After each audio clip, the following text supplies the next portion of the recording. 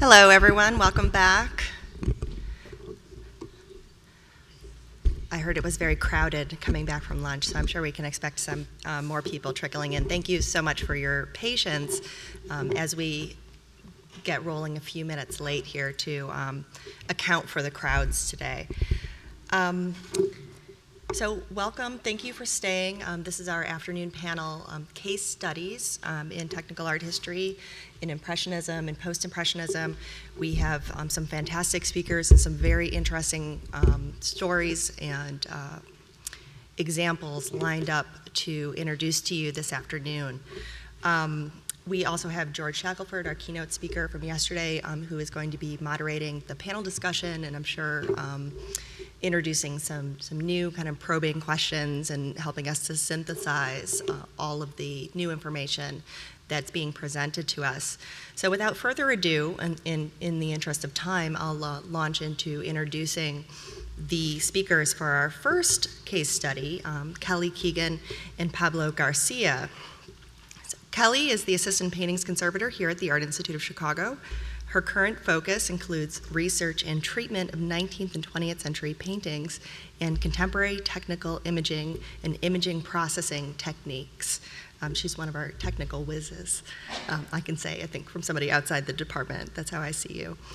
Some of her recent research projects include the materials and techniques of Impressionist artists such as Pierre Auguste Renoir, Gustave Caillebotte, and Camille Pissarro, um, which we will get a little deeper into this, our uh, Caillebotte painting, our very famous painting today. Um, her collaborator, Pablo Garcia, is assistant professor in contemporary practices at the School of the Art Institute of Chicago across the street. His artwork draws from a system of research studying the intersection of art and technology, the analog and the digital, or the virtual and the real. Garcia is the author of DrawingMachines.org, a website documenting the history of mechanical and optical drawing tools from the Renaissance to the present. And he has one of the most comprehensive private collections of vintage camera lucidas in the world. So I think that we're in for a very, very interesting um, talk here. So without further ado, Kelly and Pablo.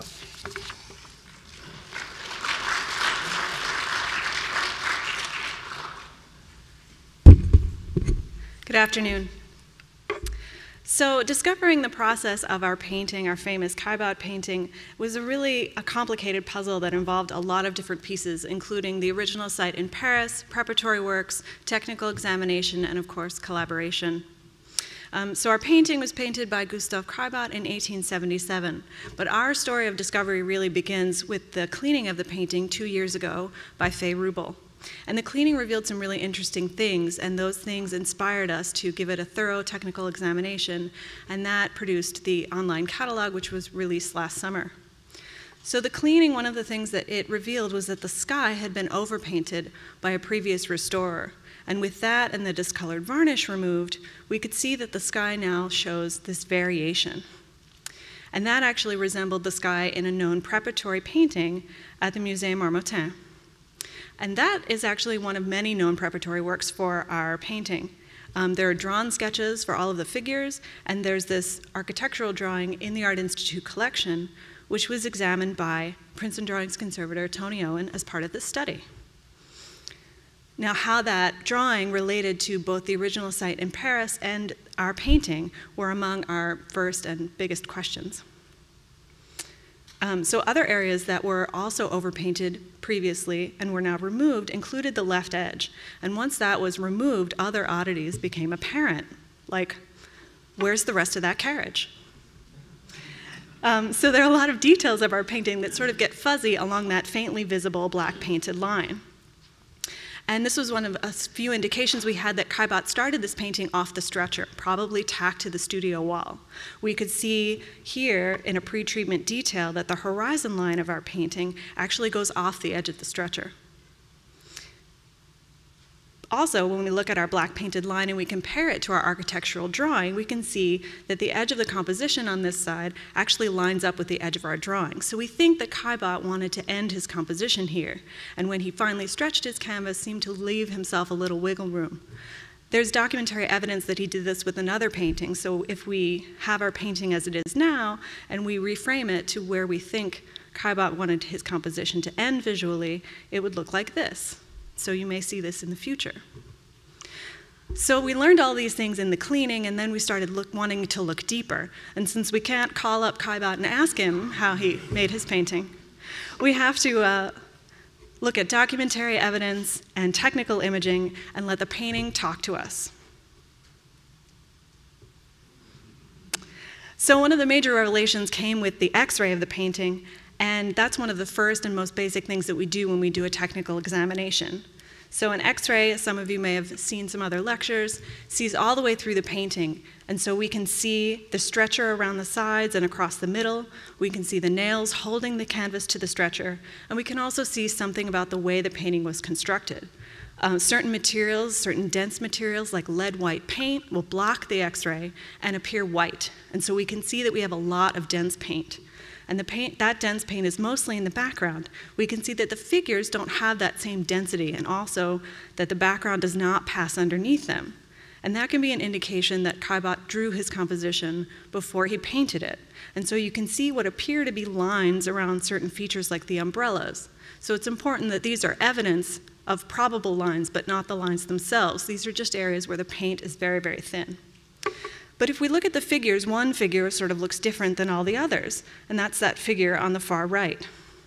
You can see the architecture passes underneath him, there's a lot of brushwork. He appears as if he were added on top. When we look in the architecture next to him, we saw another thing that was sort of curious, and that was a faint vertical feature.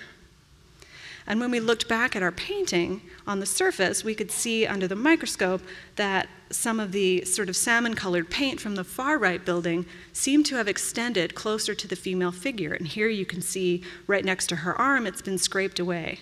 Um, and then up in the tan building up top, we can see that pink paint peeking out from underneath. And so it appears that uh, originally that building was much closer to the figure.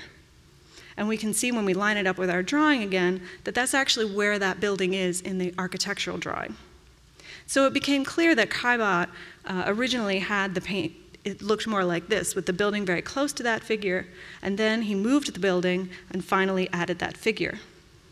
Interestingly, that figure also appears to be an addition in the painted sketch I mentioned earlier, and we can see, if we look closely at that, the white paint again underneath that figure. So it, it, suggests a kind of back and forth. The Caillebotte is going back to his preparatory work, sort of trying things out before he takes them to the big canvas. So I talked a little bit about the fact that Caillebotte may have drawn his composition first. So the way that we look for underdrawing is typically with infrared.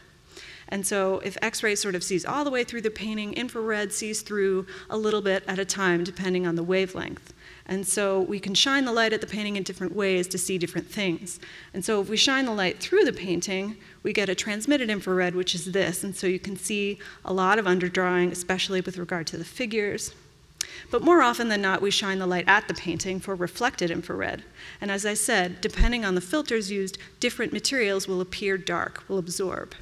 And so here are two infrared images with two different cameras, so you get a sense of what that looks like. Now, this second image was taken by John Delaney and Kate Dooley from the National Gallery, and there they are on the right with that camera. Uh, they also brought with them a hyperspectral camera. So it makes sense if we have filters that certain materials will absorb or appear dark according to the filter, the more filters you use, the fewer wavelengths you let through, the more specific the materials that will appear dark in that image. So we can combine three of these images. We can take image number one and say everything that's dark in this image appears red, and image number two, everything that's dark will appear green, and for image number three, it will be blue. And we do that and we get what we call a false color infrared, and that's what we see here. And we can see a ton of underdrawing in this image, especially with regard to the buildings, and here I've reinforced some of that in blue. So we can see evidence of these lines, but we can't really see what they're made of. And for that, we have to go back to the surface of the painting. And under the microscope, we could see evidence that there was underdrawing in charcoal, in blue and black paint, and in red lake paint. So this examination of all of our technical images revealed a myriad of changes. All of the figures had been adjusted in some way. They seemed sort of fussed over. Every fold of their garment, the brims of their hats, the umbrella handles, the female figure was originally ungloved, terribly scandalous. Um, a lot of the architectural features and details, trims, and chimneys were also adjusted. Um, and also, he added a couple of figures, including the two figures over the main gentleman's shoulder. He also scraped part of this man's face down just to give him that mustache. So we look at our painting and we wonder how did Caillebotte get the space so convincing? And that's with his use of something called linear perspective. And so that's the sort of phenomenon where you're looking down a straight road and the edges of the road seem to meet at a point on the horizon. And that point is a vanishing point. And so we can see in the IR image, I've reinforced a couple of lines and extended them that they meet at a point on the horizon. So each avenue pictured in our painting has a point along the horizon. And when we looked at this particular infrared image, we noticed something curious about our vanishing points. They were pinholes. I had no idea why, but again, it suggests that the painting was tacked to a studio wall. Now, what, what these pinholes were for would not become apparent until much later. Um, so again, if we want to talk about Caillebotte's use of perspective, we might need to go back a step to our drawing. And again, if I overlay the outlines of the drawing on our painting, the closeness with which they match suggests some sort of direct transfer. And in the beginning, I could just see this in Photoshop and I couldn't really prove it. But when we examined it and we looked at some of the distances in our drawing, it seemed to be at a ratio of 1 to 7. But how Caillebotte got a drawing that's this tiny to a painting that big also was not something that was apparent right away. So the examination of the drawing revealed it also had some interesting things, some of which made sense and some didn't. Uh, when Tony looked at this under the microscope, she noticed a bunch of microscopic indentations. These seemed to be, when she plotted them across the drawing, they seemed to fall along the vertical axis and the horizon and at a lot of interesting intersections of architectural elements. The drawing itself also represents sort of two phases of drawing. So it's essentially two drawings on a single sheet of paper. The first is a sort of on site sketch, and that's in these sort of sketchy lines. And I'm just using this side of the building as an example. Um, in the second set, you can see the angle of those lines changes slightly. Caillebotte takes the drawing back to his studio, uses a ruler, and there we have a second set of lines. Now, the second step is where he sort of tightened up and clarified the perspective. And so we can sort of see when we extend these lines how that looks. One interesting thing about this is that he sort of widened all of the buildings ever so slightly. So he moved those vanishing points away just a few millimeters on the drawing, but basically what it does is it makes the vantage, as in our point of view in the drawing as well as the painting, at eye level. So it's important to remember that the steeper angles that we see in the on-site sketch suggest a vantage, an on-site vantage of slightly lower than eye level. Because then we wanted to figure out how Caillebotte made this drawing. And so the fidelity of the drawing to the site in Paris has led, and here it is as it appears today, has led many scholars to posit that Caillebotte used an optical device. The intersection itself is a really complicated, in true Parisian style, an eight point intersection of five different streets. But among the uh, options that Caillebotte had at that time to capture that scene were uh, the photographic camera, so he could have traced a photograph or the ground glass on a photographic camera. However, Tony's examination revealed the paper is far too thick for that. The second option is called a camera obscura, or more specifically, a tent camera obscura. But you can see from this diagram, the vantage would therefore be too high. It looks very much above eye level. And so the literature mentions this thing called a camera lucida. And maybe you knew what that was, but I did not. I could find pictures and treatises and instructions, but none of them really made sense. And so in my late night Googling, I came across this, which is uh, a Kickstarter for something called a Neolucida, and it's a contemporary camera lucida for current artists. And one of its makers happens to be my colleague Pablo Garcia, who works across the street at the School of the Art Institute. So we began a new collaboration, and here he is. So, um, yeah, it's kind of funny because uh, I do get asked from time to time about uh, vintage optical drawing tools, but uh, to be asked uh, to just walk across the street made it really simple uh, to have a, start a conversation. Um, so what I said to them is what I say to you now. Camera lucida is very simply an optical drawing aid that lets you trace what you see. Um, it was invented in 1807 by the Scottish scientist William Hyde Wollaston. And the genius of it is that it's just a very small prism on an adjustable stand. And when you look down into the prism, you see both the subject in front of you and your hand at the same time, but kind of projected simultaneously. Um, and as a drawing aid, it is quite lovely and quite simple to use. Um, our Neo Lucida was very similar uh, to the same optics. Like it was an art historical project. So my colleague Golan Levin and I had this idea in 2013. What if we could introduce this tool in a very inexpensive way to our students and to other educators to kind of further the conversation of the history of art and technology relationships, which is what we're really interested in. Um, and so as you can see here, what, how the Neolucida works, you clamp it to the table and you can trace what you see. And because it was an art historical project, it effectively worked just like the vintage tools from the 19th century, something a little bit like this. So you take your subject, you place it in front of your, your uh, camera lucida, you look down into it, and you can see here there's a kind of translucent area as the prism beam splits between what your subject is and your paper at the same time. And I know about this because, as was mentioned at the beginning, I have an extensive collection of camera lucidas that I've been collecting for the last 10 years. Um, I got my first one, uh, this silver one here, circa 1900, and started to realize that there are other designs and other types. And so uh, because, there's, because there's actually very little literature on how they work, I started to do direct research. I started to use them myself for my own drawing projects.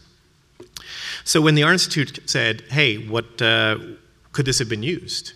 I said, I don't know, let's, co- let's go over and, and find out. Uh, I, so I brought over a bunch of my vintage ones, particularly mid to late 19th century models, which would have been ones that Caillebotte could have used. Uh, and the first thing was just to see whether or not the viewing angle of what you could see through the prism of the camera lucida would fit the drawing.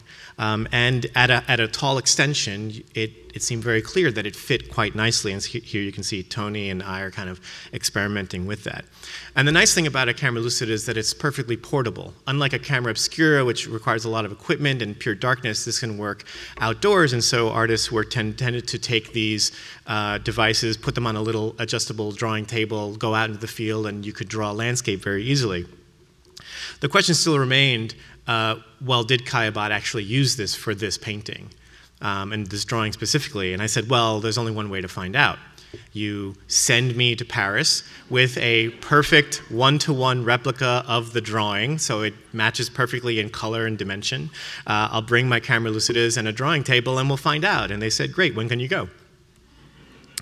Uh, and so there it is, set up on the exact spot uh, where, where Caillebotte worked. And this was a little bit like a kind of a divining rod. I had to kind of set it up. We knew approximately where the intersection was, where the spot was, within a few feet. But I sat there and actually kind of started to adjust and move around up and down a little bit. I remember asking a lot of questions. Well, how tall was Caillebotte? Was he tall enough to have had it up here, or would it have to have been lower? Because this is a kind of three dimensional puzzle to try to figure out. But with a little bit of work, after a couple hours kind of testing it out, I was able to uh, line some things up.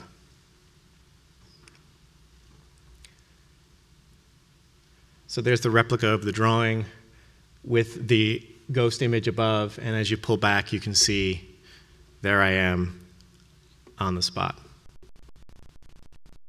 So that definitely suggests that it was very possible that Caillebotte could have used it. It matches a lot of what, um, what Kelly had already mentioned, that it was the right angle, the right vantage point, the right size, and I could find an actual location where, where it worked. So then the second question was, how did he go from this drawing to the large canvas? Um, and I think, as, as Kelly mentioned, there were a few things that he did after he did that drawing on the street that were, were really telltale signs that something was going on uh, back in the studio. So for example, uh, you can see there's this little horizon line there, but that's drawn after uh, we realized that the, the apparent uh, vanishing point of the building uh, sides were actually at two different levels. Now, this probably comes from two different reasons. One is that the street itself is not flat. There's a kind of slope kind of up and to the right, and so the vanishing point would be slightly adjusted as a result of that. But also, you know, drawing through this tiny little prism does cause small imperfections. So he might have sat there and said, Well, I can't quite conform this drawing neatly for transfer. And it seems that what he did was add a kind of horizon line right in between. They, they're almost perfectly between the two, almost like he took a ruler and said, Oh, that's three, three millimeters apart, I'll make it one and a half and just split the difference. And then from there, there are these tick marks on the drawing outlined here in red that show the new vanishing points of what he draws for the building.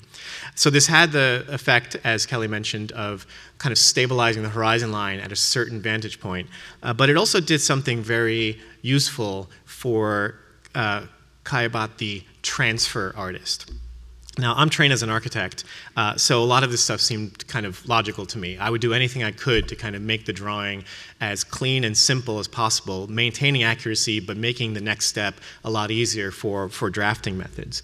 Um, so these little indentations were a pretty big clue for me because what seemed familiar was drawings that I had done when I was in school that, like this one, had little small indentations all around the drawing. And my suspicion was that they were that Caillebotte was using dividers um, you might call them calipers, but really they're dividers. And what you, what you do with them is you very simply just spread them out to a distance between, let's say, two lines on your drawing, and then move that over to a ruler to find out the measurement. That way you can make a note and multiply.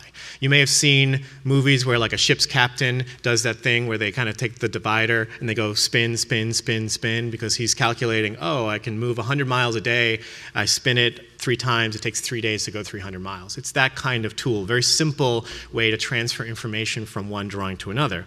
And by the way, we know Caillebotte's la later uh, life spent, he was spent doing naval architecture, um, and there he is even using the said tool right there.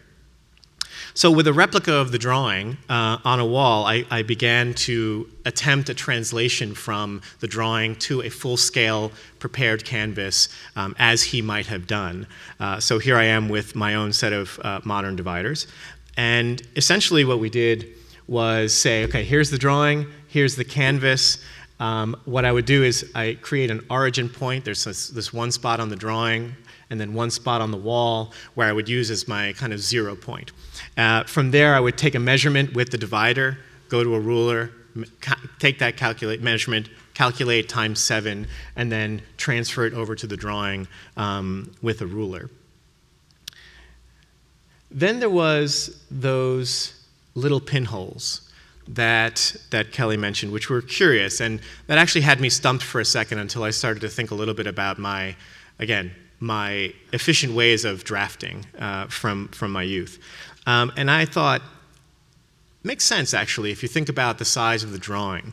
You put a tack in the vanishing point because there's a way to make the drawing a little bit easier if you don't have to spread your arms around this far to aim one spot to a vanishing point and then rotate your ruler so that you can get to the actual point you want to meet.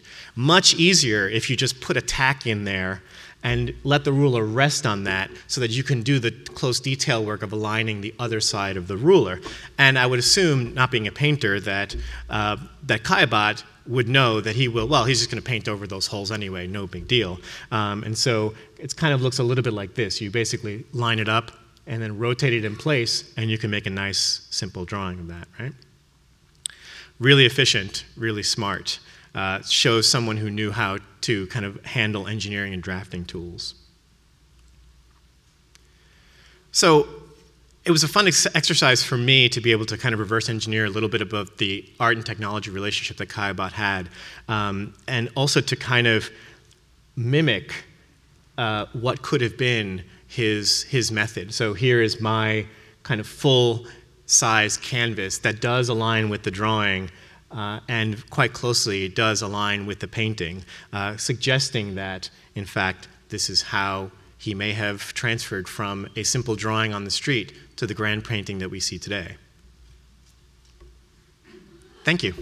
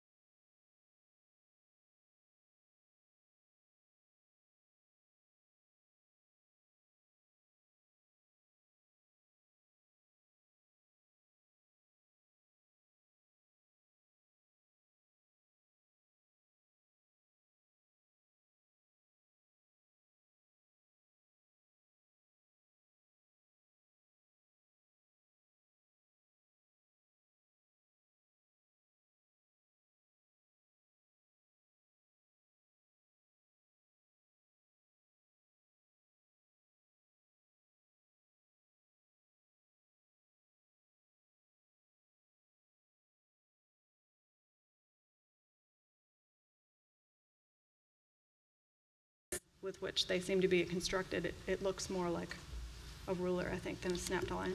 When I, and actually, it was hard to tell in the photo, but when we set it up, I, I took the origin point. I actually had a piece of string there hanging to test out, like, oh, could I use it? Like, could I? And I realized it's, it's an extra step of like marking off the distance of the string and then hanging the string and then make sure you're pulling it. And then, oh, right, when you pull it, you're actually going to stretch it by one tenth of 1%, but over that distance now things are off. Better just to have a long ruler. Um, and it seemed to be a lot easier. So, and again, back to the pinholes. Well, now you have the straight edge, it's heavy, so the pinhole with the tack makes a lot of sense to do that pivoting move. So essentially, there were like two real steps. There's the origin zero, you know, story pole area, from which I would take the caliper divider measurements and then draw them out along this conformed horizon line. And then from the horizon line, I could move upward to find verticals. And once I had established enough of the verticals and horizontals based on where we saw those, those little indentations, then I could start connecting. All right, now we're ready to welcome Ann Hoenigswald to the podium. Anne is the Senior Conservator of Paintings at the National Gallery of Art in Washington, D.C., where her particular focus has been on late 19th century and early modern works. She's widely known in her field and has held fellowships and participated in collaborative and, and interdisciplinary projects with many institutions. At the present moment, she's writing and coordinating the conservation content of the National Gallery's forthcoming catalog of late 19th century painting and is awaiting publication of two essays one on the issue of finish in paintings by Edgar Degas, and one on 19th century ground preparations. She has also published widely on Picasso and Malevich, matte paint surfaces, oil sketches, and the history of restoration. So please join me in welcoming Ann.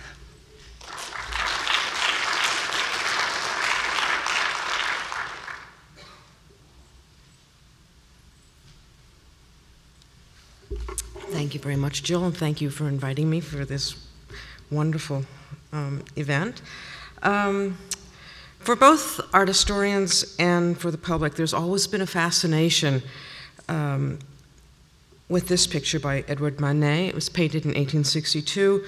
And what's one of the things that's very interesting about it, it's a canvas that remained in his studio until his death. Um, partly, it um, this particular interest really stems from the ambiguity of the composition. Uh, the subject, the setting, the relationship of the characters that we see, the connection between this picture and um, the absinthe drinker from Copenhagen, um, and also the sources. There's um, a lot of people have spoken about the relationship between this and the artist Le Nain, Watteau, and Velasquez, among many others. Um, these are all topics that have never really been resolved. Um, it's also been a focus simply because of its size. It's over six by eight feet, but after the Caillebotte, I guess that's sort of nothing. Um, and maybe this is a session on large pictures this afternoon, I don't know. Um, and also the fact that this was Manet's first scale multi-figure composition, which is still intact, makes it of great interest.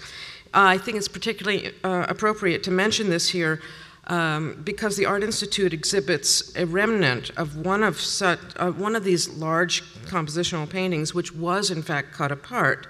Um, and what I'm showing here is the print, which of course is flipped from what the painting would have um, looked like. And what hangs here is the boy with the pic- picture, which is one element that was cut out of the, the larger composition.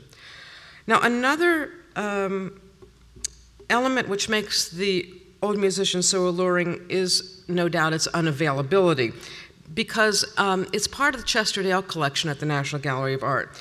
And by legal agreement, these pictures cannot um, leave the building.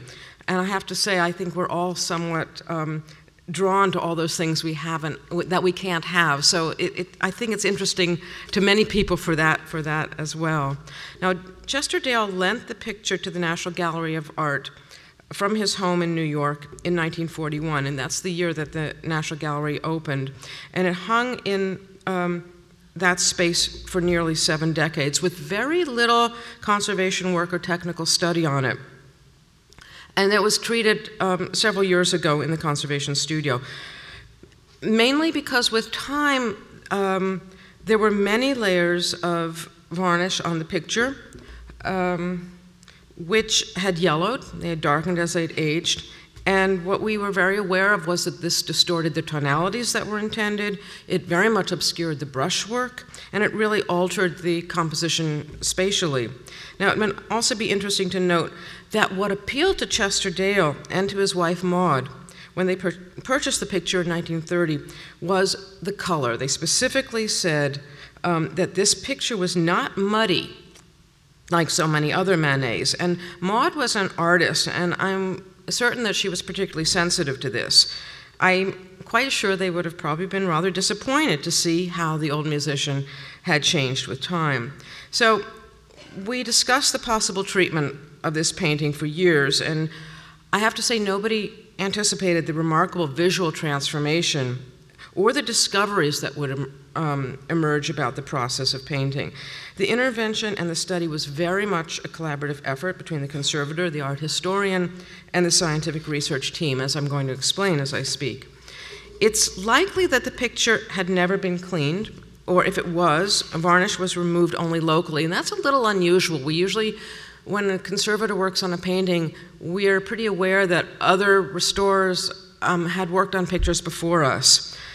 Um, however, although I don't think the varnish was ever removed, the painting does appear to have been lined very, very early in its history, and this is rather also interesting um, because I think it could have been lined even before the artist started working on it. And I'm finding that this is the case with a great number of these large Manets.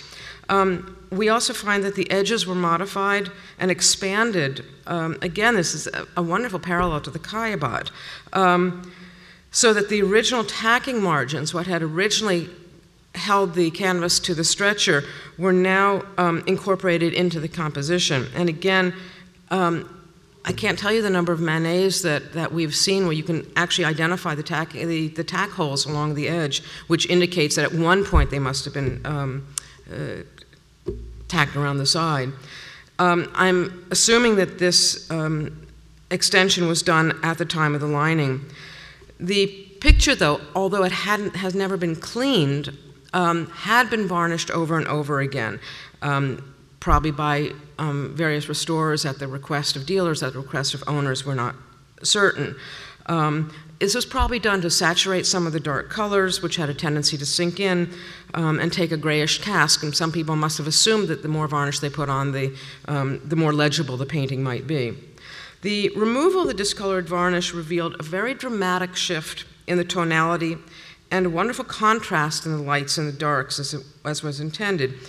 It exposed a stunning range of browns and blacks, really not unlike what we see Oh, I'm sorry, I missed this one, which is the before and after.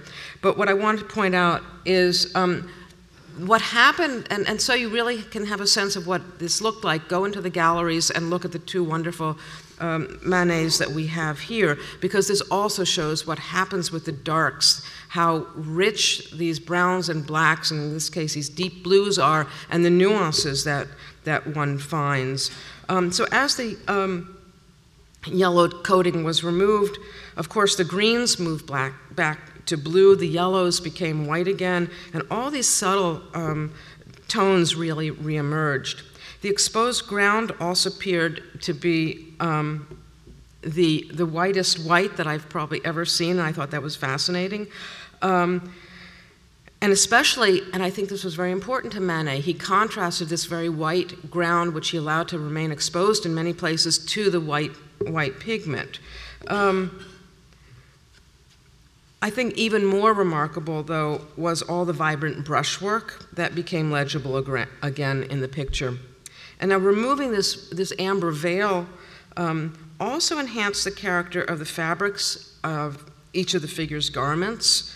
Uh, Manet had the ability to sort of emulate very distinct textures the soft drape of the boy's linen shirt against the gossamer fabric of the, the girl's dress. There's this wonderful texture of the homespun cloth next to the, um, the, the rough wool of the folds of the musician's cloak. And these all reemerged as the artist intended and I can't help but to want to show this image, um, which is my favorite bit of fashion, which are the blue socks, um, which I really feel took on a life of their own. Now, in addition, Manet's incredibly versatile and ambitious technique became visible.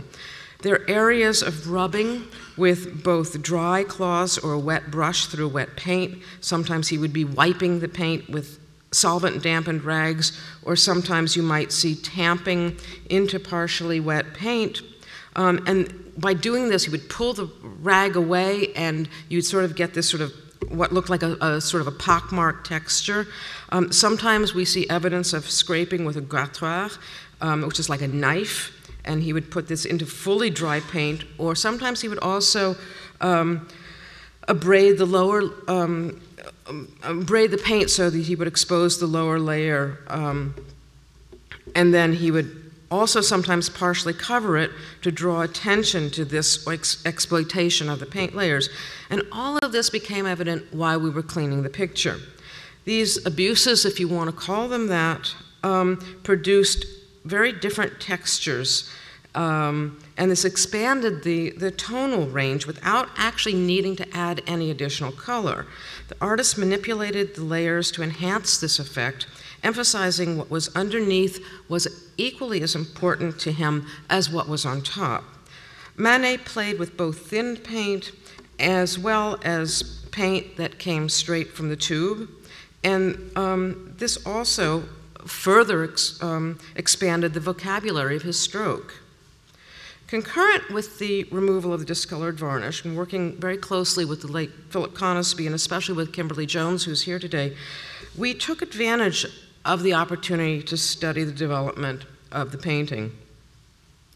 Even before beginning the project, we knew that Manet had made some changes. And this was without even using x rays or infrareds or anything else, because there were areas of pentimenti or alterations that were visible to the naked eye. Um, there was also impasto, or thickly applied paint, um, characterized by its texture, covered by subsequent layers of paint. And this also then suggested that some of the original strokes had fully dried before Manet reworked those areas. Um, but beyond the naked eye, we really wanted to see underneath the, underneath the surface, and, and we took an X radiograph of the picture as well. And this really helped enormously in understanding the bigger picture and the changes have been made. Um, one area that we focused on was the little girl at the far left. Now, at far, she initially had her head in full profile, her forehead was exposed, and her hair was pulled back in a tight bun. The Manet had repositioned her nose, we think at least two or three times. Um, and the gaze of her eyes was directed towards the um, little boy next to her. And originally, she was wearing shoes. And of course, once we see that in the x ray, it also becomes very apparent, even to the naked eye, through the artist's intentional abrasion, um, that there was that change that he had made. And he could have covered this over, but I think he very consciously wanted to have the, the viewer be aware of it. Presenting her as a barefoot waif now very much contrasted her with the other figures, of course, who are all wearing shoes. Um, and that, but then she was even more distanced and more detached from the group psychologically and spatially. Her costume, with all these changes, the costume was also altered. Um, her skirt was shorter. She wore a blouse with a white collar, and her vest was a later addition. And for all we know, there are even other changes. Um, but these were the ones that we were able to, to identify. Um, but in addition to the little girl, we started moving across the canvas. And um, what I want to continue doing is um, draw attention really to the artist's working method rather than pointing out um, just a list of changes and, and, adjustments he made. Manet may have done preliminary drawings, um, but he didn't do um, really elaborate underdrawing in the traditional sense of the world, word. So we don't have drawings the way um, they exist for the Caillebotte. We don't have underdrawing that one can see with infrared um, imaging that shows drawing underneath, because what I think was very common in the 19th century was that rather than drawing with charcoal or with um, pencil or some sort of uh, dry material, the artist would just go in with their brush, with their oil paint. Um, and then and they'd put the sketch in with that. And then, of course, that sort of gets absorbed um, into, into the final painting. But I do think that Manet um, worked out his composition of, um, on the canvas as the painting progressed. And once um, and we realize that one change then necessitates balance by something else. And that being said, the manipulation of the central figure, the subject of the narrative, the old musician, is probably less complex than the other figures. And that's because the, the artist conceived of his pose based on a drawing he did of a Roman sculpture at the Louvre. And I should add, this drawing is gridded, and we get very excited in conservation when we see a gridded drawing because we assume it's been used for a transfer, and we might find a grid on the painting as well. We did not find a grid. Um, but that doesn't mean one didn't exist. Um, but um, we were, however, very curious about the figure next to the old musician. Um, clearly, he was related to the absinthe drinker in Copenhagen, as I mentioned earlier. This painting in, in, in Copenhagen is a life size portrait. It's really not far in size from the, the two philosophers that hang here, if you want to get a sense of the scale. Um, it was painted four years earlier than The Old Musician. It was rejected from the official um, salon, and it sat in the artist's studio when he was working on The Old Musician. So you can imagine he's sort of seeing it next to him. So, using very low tech um, techniques, we tried something to get a better sense of the relationship of the Copenhagen painting and um, the National Gallery Old Musician we laid a transparent sheet of mylar, um, which is sort of like heavy saran wrap. Um, and we did an outline of our painting of the figure of the old of that looked similar, the man with the top hat. We did an outline on that. I carried it with me to Copenhagen, and they very um, generously allowed me to gently place it on top of their picture. And it was another one of these aha moments that we keep mentioning here um, they really did line up. So again, we knew there must have been some sort of transfer process, um, whether it was a tracing, a projection, a grid, um, a pouncing method. We're not sure. We don't have the evidence that was so obvious on the, um, the Caillebotte, or maybe it's there, and as I said, we haven't found it yet. Um, this insert of the top hatted figure, though, um, sits rather awkwardly um, in the composition of the old musician. We find that he's not really sitting at all, he's not standing, he's sort of floating there. And I'm convinced that um, Manet recognized that there was an awkwardness in this figure, and he continued to work across the canvas towards, um, towards the edge, precisely though, so that he could resolve the position and the role of, of this figure. So it appears that initially Manet conceived of the composition as a tight semicircle.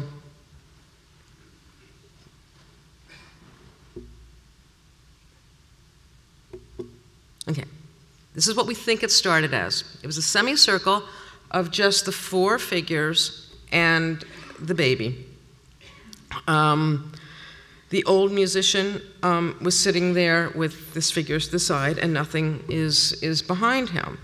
Um, we think that then Manet inserted the absinthe drinker, but he had to adjust the hat, which is rather interesting, um, so that it would fit into the painting. And that pentimenti that you see at the top of the hat, um, right up here, that shape up there actually lines up with the, um, the hat in the Copenhagen picture, but I think that Manet felt that there wasn't enough space between the top of the painting and that, and so he changed it, but interestingly, it, it remains very, very visible to the viewer.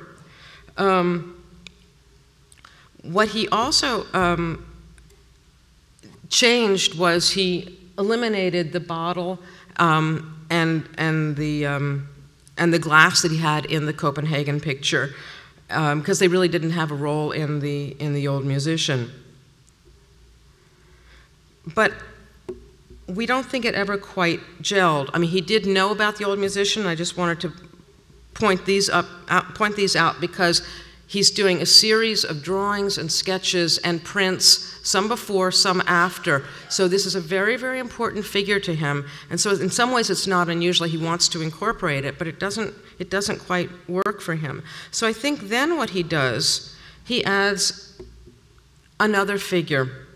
And um, this turban figure is known as the Old Jew. Um, he's almost falling off the canvas, and I'm not sure that's because there wasn't enough space. I think this is a something that Manet does in quite a number of his pictures. Um, but I'm absolutely certain that he added this figure to provide balance. It was literally and figuratively um, used to ground this hatted gentleman who was just still floating. But um, the last two figures weren't added immediately. As I mentioned, there was dried impasto, um, which was underneath the top paint layers, and this suggested a continuation of the landscape that, in fact, um, must have gone underneath, continuously underneath here. And this is the impasto that we see that indicates that. Um, but what's also interesting is enough time had elapsed that that paint had actually dried. So it's not like Manet is making these changes within, within a few days. He's sort of living with these, these problems on his picture. Um, we also know, though, that um, looking at this caricature, which was um, done in 1863 after an exhibition, um, that the changes must have been done within a year from when he started the, um, the, the canvas itself. But what's important to emphasize, however, is that Manet did not want to obscure the development of the, of the composition. He left clues all over the surface to draw attention to the changes. Um, in addition to the impasto and the pentimenti and the colors peeking through, the, as we see on the sleeve here, um, and what I love about it is it actually incorporates the brown of the of the um, the garment of the gentleman next to him into the sleeve of the, of the old Jew. Um, but what we're also noticing is the way he painted these last two figures is very different from the first group. The old Jew is captured with a much brushier, looser application of paint. Um, and as I mentioned, it was about balance, and the two final additions were inserted, I think, to create a quarter circle to play off of the half circle of the, of the first four figures. So he's really figuring out how it all, all works, but he's figuring it out on the canvas and not through drawings. Now, further evidence of the evolution was provided by doing X-ray fluorescence, which is a, a non-destructive analytical technique which helps us identify pigments by isolating the, the elements. And this clarified the distinct campaigns of the painting. The primary white pigment that was used in the faces of the two figures on the right was identified as zinc white. And the flesh tones of the first four figures, however, were all painted in lead white. I should point out that both zinc white and lead white were available to artists at this period. It wasn't like all of a sudden zinc white was invented um, and he started using it. Artists would have both colors on their, their palettes. Um, they would choose them for different reasons, though. Now, of course, once we went back to the X radiograph, um, it also became apparent that um, they, these areas um, displayed very contrasting densities, referencing again the different radio opaque characteristics of the two uh, pigments. It's much more difficult to penetrate lead white than it is zinc white. What became even more significant, though, and we thought this was really great, was that zinc white was also used in the nape of the little girl's neck and in her feet. These are both areas, remember, that we know from the X radiograph were areas of change. So this makes it very clear that Manet must have gone back to the little girl and rethought her position in this group at the same time that he added the two figures. Um, and again, I keep repeating this, but I think this was all for balance. Now, Manet may have wanted his technique to appear effortless, but the examination of this painting has revealed that the layering um, is really complex, and you can see that the reworking is very extensive. Even the signature on this picture is painted with two different colors. It's black and blue, layered one over the other. Um, and throughout, Manet left evidence of the changes. I'm convinced this was characteristic of artists um, who are equally as committed to printmaking as painting. Um, because in a print, all of the stages remain as existing states, of course, but in a painting, it's only the X ray or the infrared um, that allow us to see what's underneath. So I think that the clues Manet leaves remain visible, visible because he explicitly chooses not to, to obscure them. Then I, I want to leave you with just one additional detail about the development of this work, um, which tells us even more about Manet's interest in the process of creating works of art. There's a particularly unusual colored drawing, which some of the curators may know that keeps reappearing on the market.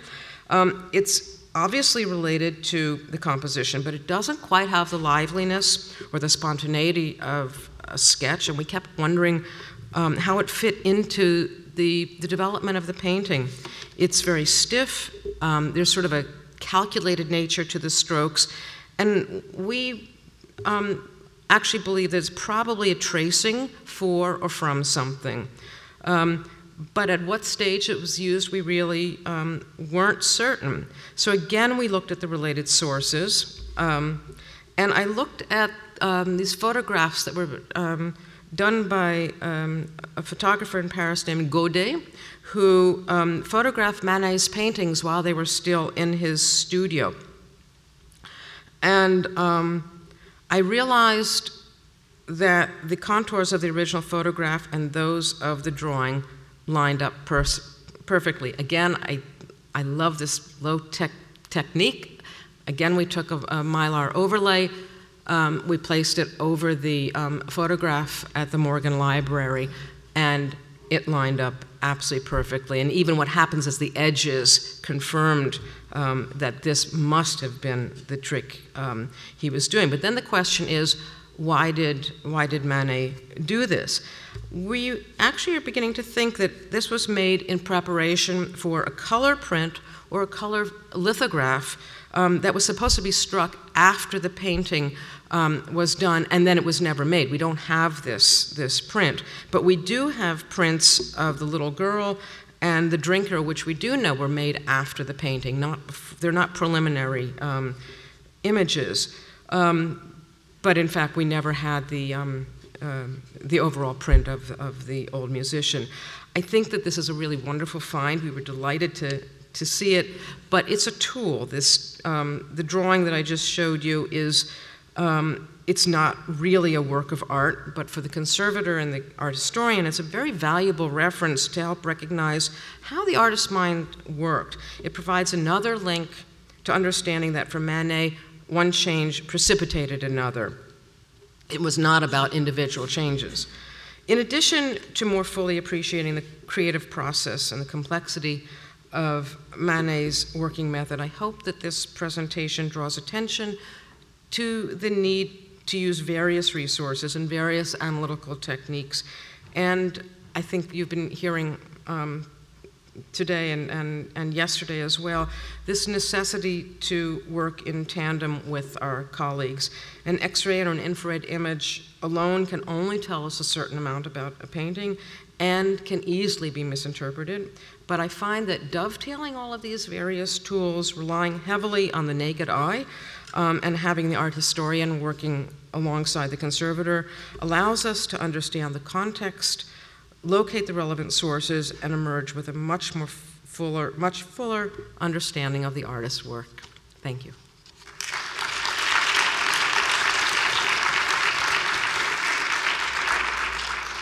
Do you want me to take questions?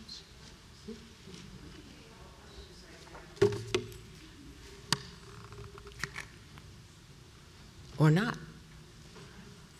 George.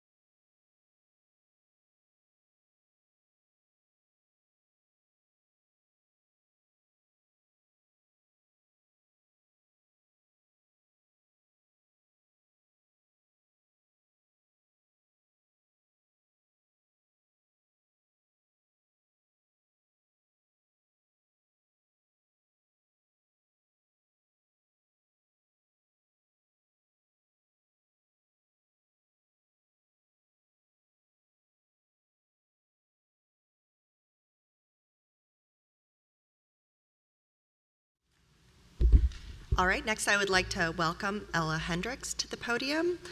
Ella is a senior paintings conservator at the Van Gogh Museum in Amsterdam. She's been an important resource and collaborator in the study of Van Gogh for many recent projects.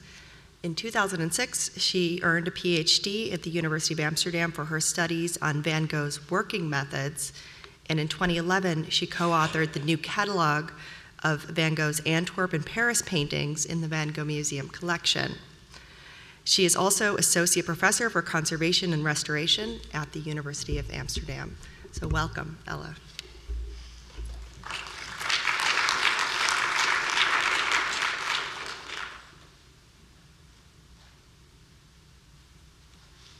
So thank you, Jill, for that uh, introduction. Um, so I'm going into my second talk on uh, Van Gogh. Uh, I should talk about Matisse and surprise everybody, but I'm not going to. um, so I'd like to start my talk by taking you back to May 2013 and the opening of the exhibition Van Gogh at Work, which was held at the Van Gogh Museum, and it was scheduled to coincide with reopening of the exhibition after seven months of renovation. And as you can see here, it was very busy as usual. And the exhibition presented the outcome of an ambitious eight year program of interdisciplinary research into the studio practice of the artist.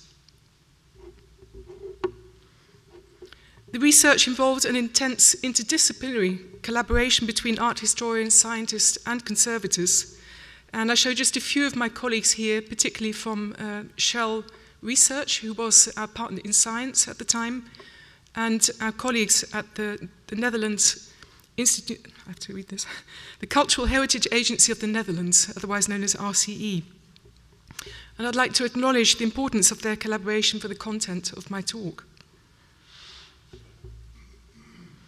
So every day, an average of four, four and a half thousand visitors passed through the exhibition, which was held throughout the main building.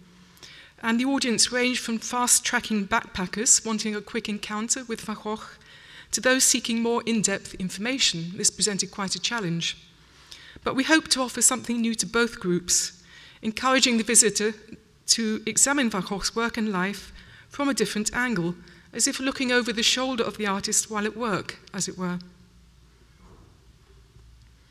And through a combination of analog and digital interactives, we invited visitors to explore key themes uh, of the exhibition in a hands-on way, in an interactive learning approach that was positively reviewed. And I'll show you just two examples.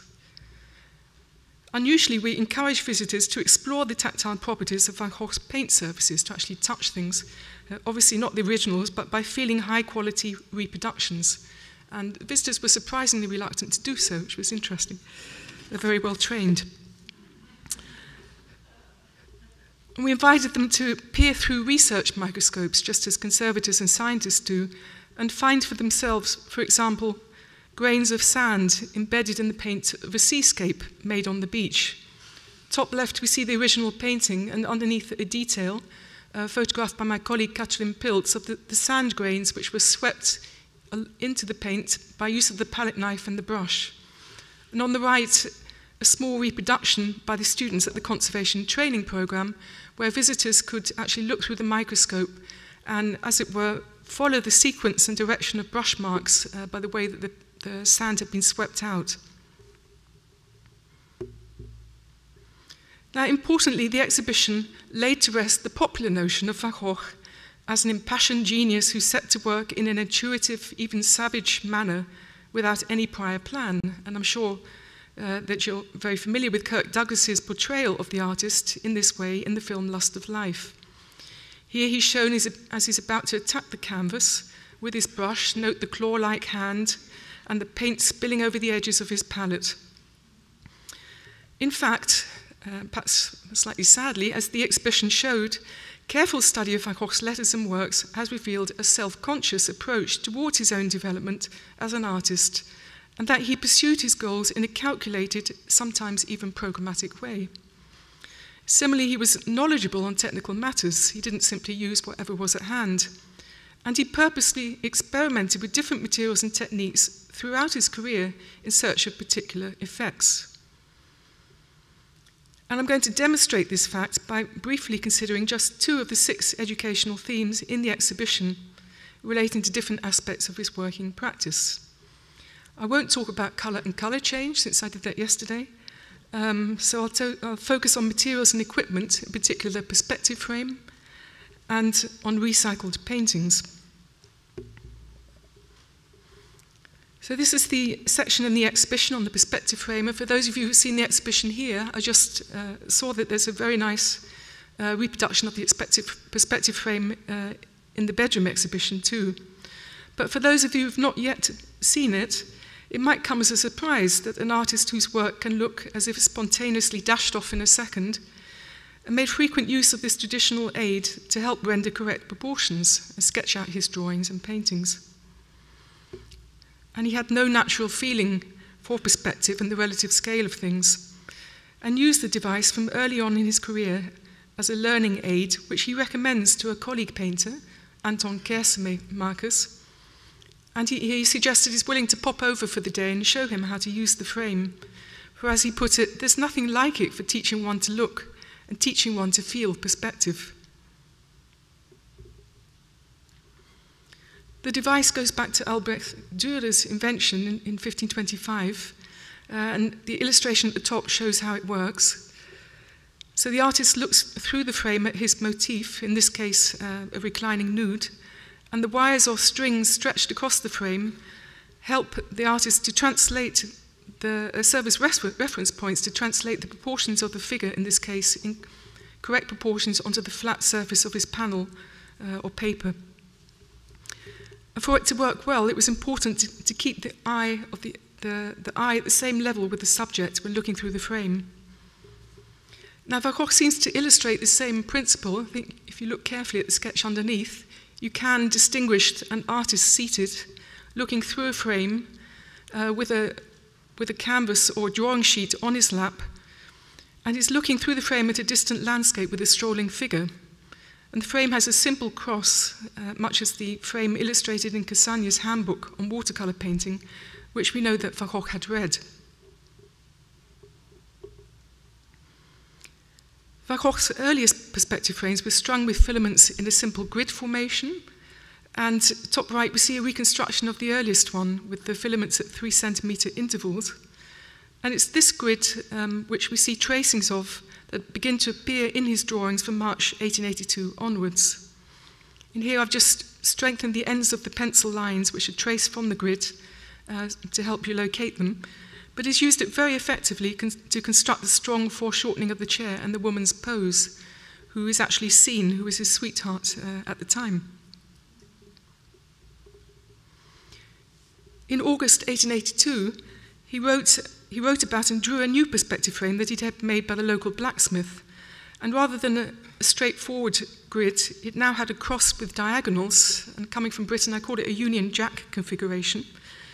Um, the frame could be mounted in a, in a landscape or portrait direction on poles anchored in the ground, and you could adjust the height using pegs, so you could use it level um, when working on uneven terrain, as he illustrates here working on the beach at Scheveningen, which is close to The Hague.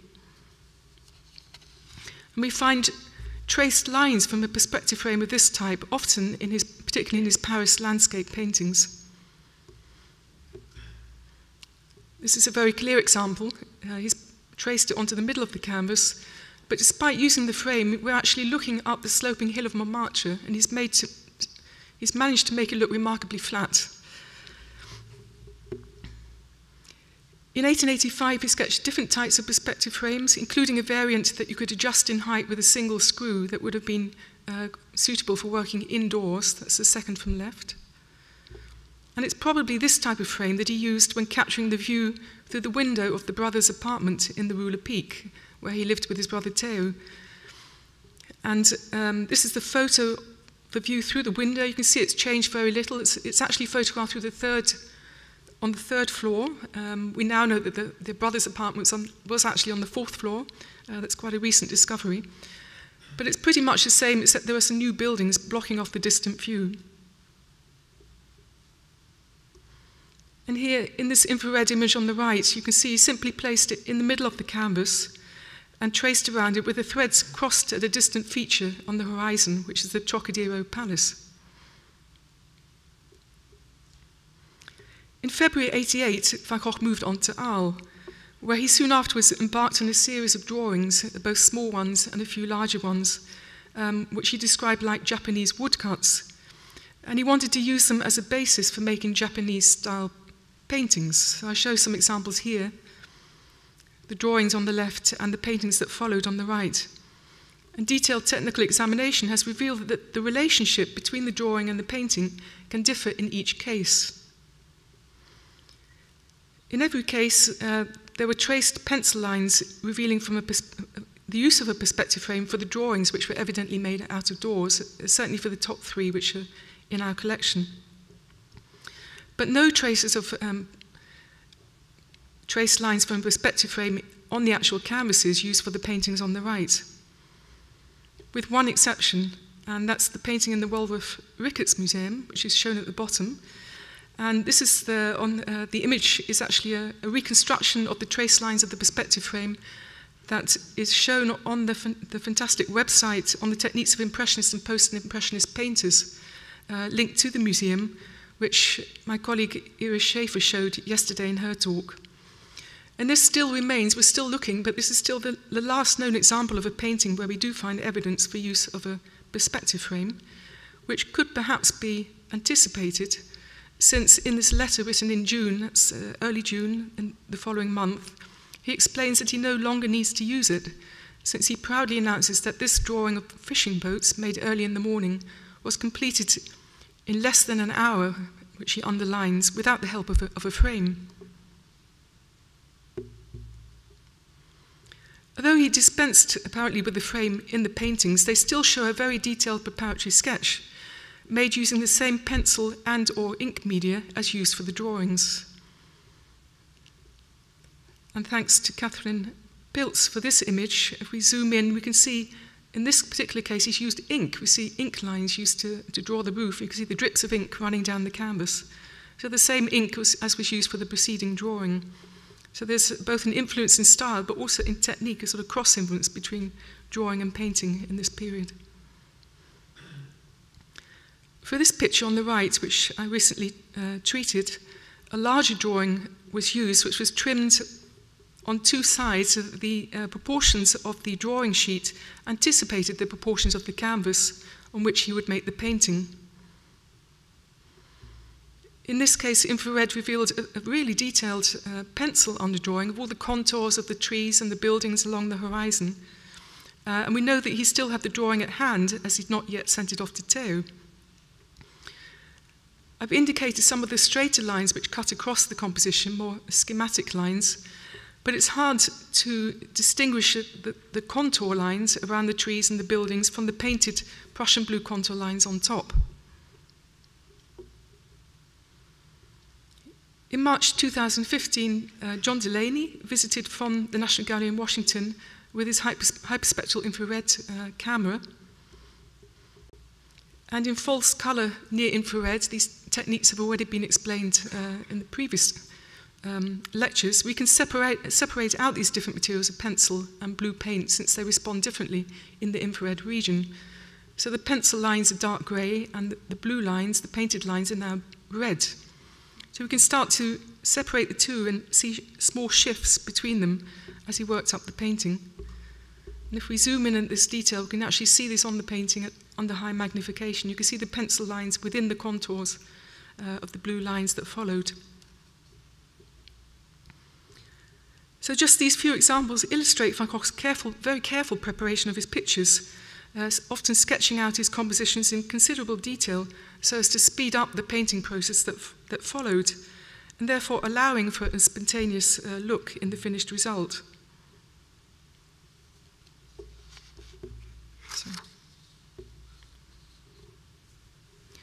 Switching to the second theme, uh, which is recycled canvases, this was the the section of the, the exhibition, um, we technical examinations have revealed that Van Gogh very, very often overpainted existing works, particularly in the period 1884 to 87, out of economic necessity. And we, we knew uh, at that time in 2014, actually these figures are from uh, 63 examples, and I think it's even gone up, up a bit since that date. However, the situation changed when he moved to Arles, and he started to order his materials through his brother Theo, who also paid for them, so we have fewer examples from the later period of his career. And what I want to show you is that he changed his method of recycling canvases over time uh, in a deliberate way. So at first he simply painted a new scene directly on top of the old one, as this um, example of a Nuenen picture illustrates. In fact, in this case, he's used the canvas twice, turning it each time. So if we turn it 90 degrees, the X-ray reveals a composition of a woman spinning a winding yarn. And if we turn it upside down, we have a composition of a shepherd with his, with his flock and a dog. And this way of simply painting directly on top of existing works continued uh, up into the autumn of 86. And here we have another example. Um, this is an unusually large still life in the Kuala Museum in Otelo.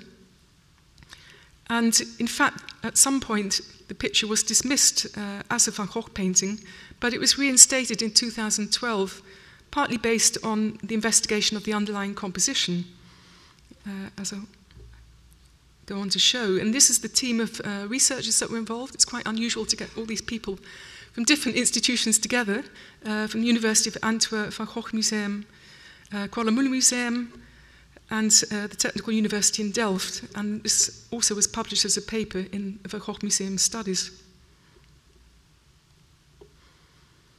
An x-ray of the painting made in 1988 had revealed that the still life is painted on top of a depiction of two wrestling men, as you can see here, but it's quite difficult to read. However, in uh, 2012, macro scanning X-ray fluorescence spectrometry, so an X-ray based technique, um, was performed by Geert Van der Snickt, and it has already been explained. This enables us to identify the, the elements present in the various paint layers and to assign these to pigments. So we can sort of map the colors used in different layers of the painting, which obviously requires some interpretation.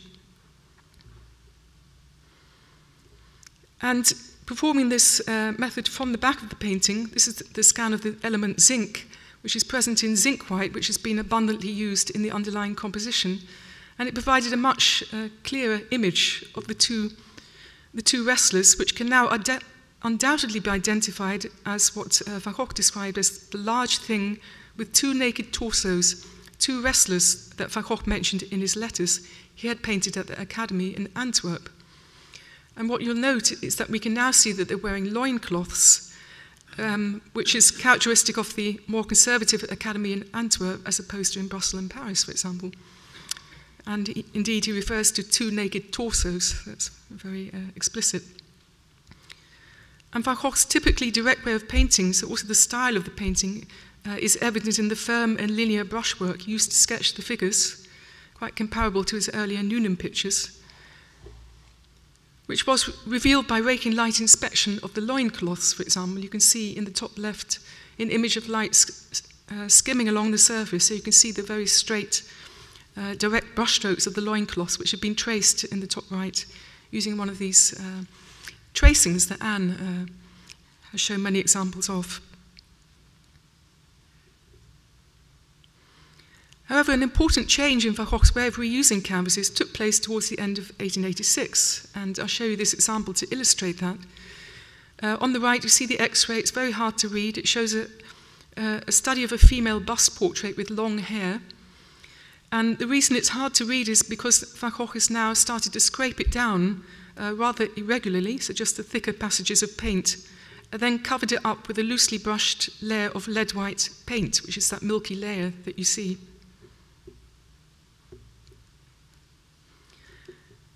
To gain more information on the build-up and composition uh, of the paint layers, a tiny paint sample was taken, and uh, many of you probably uh, know what this entails, but just to illustrate this, um, see top left my colleague uh, Muriel Geldof, who's removing a sample from the edge of a painting, uh, from, or from the edge of a damage, and to give you some idea of the scale of the paint sample, the, the top center image next to a paperclip.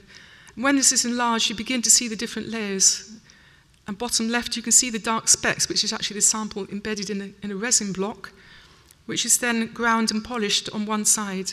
and examined with the microscope to get this type of image shown at the top. So what we see are the layers of the first painting, and then I've um, pointed out in yellow letters, this is the, the white covering layer which covers up the first picture, which I've called the new white ground, and then the paint layers of the self-portrait on top. And if we focus on this covering white layer, we see it even higher magnification in the, uh, with a scanning electron microscope at the bottom.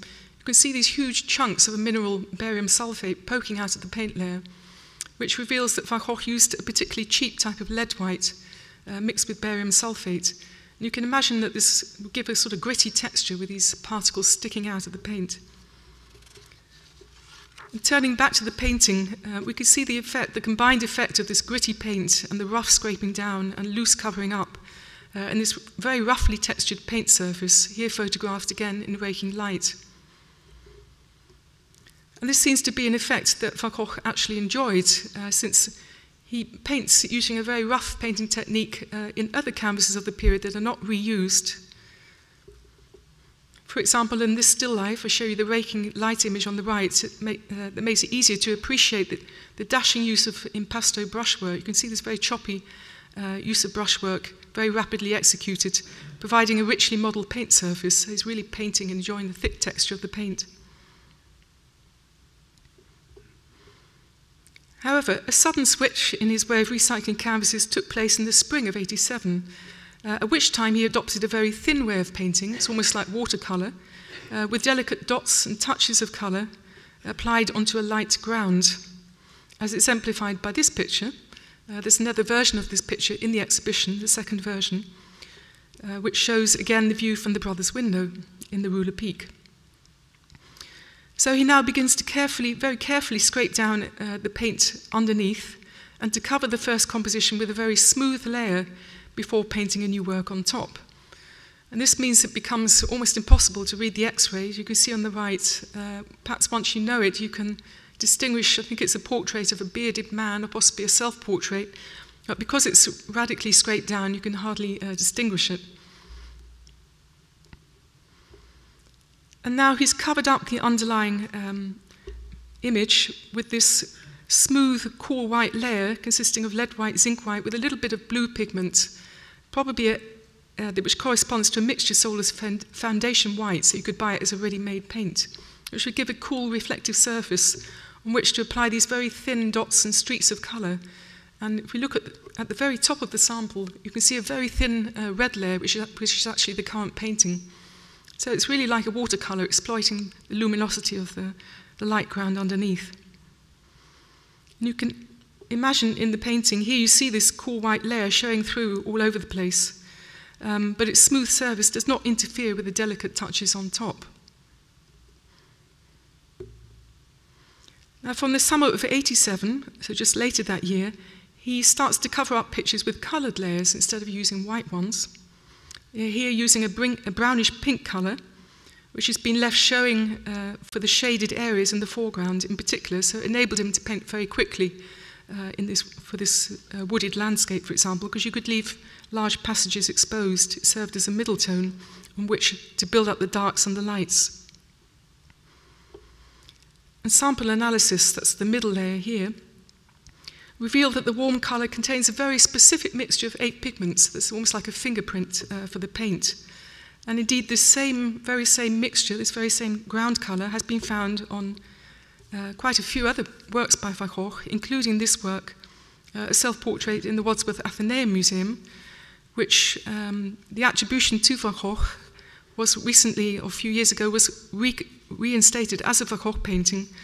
Um, it was examined by Stefan Kornhauser, and one of the pieces of evidence was the fact that the paint used for the ground layer was of exactly the same kind, with exactly the same uh, mixture and characteristic pigments.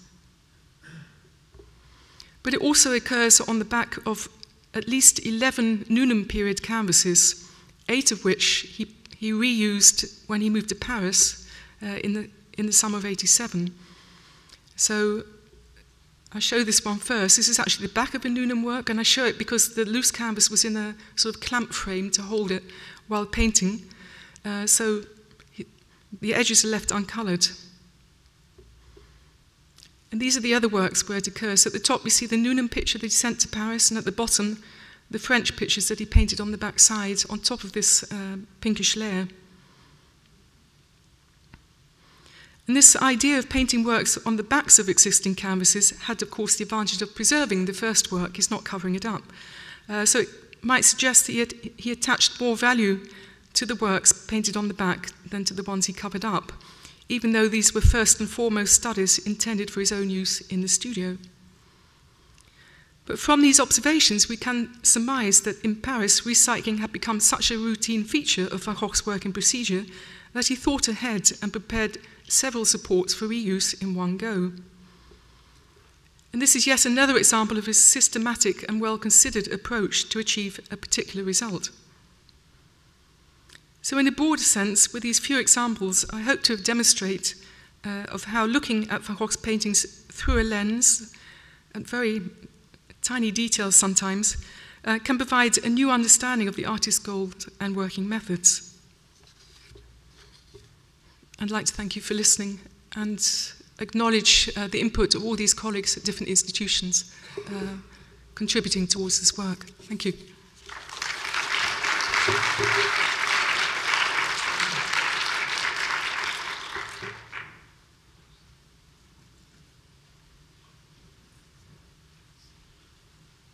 Take a couple questions for Ella, um, but we will return to using the floor mic.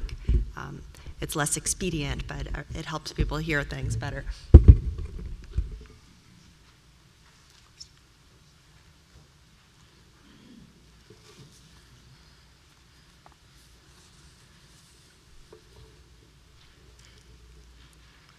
Maybe I explain things very clearly.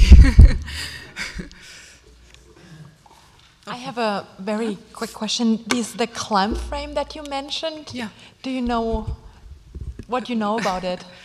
Um, well, there were uh, types advertised actually for sale. They were called uh, Stierate, um, with the Dutch pronunciation.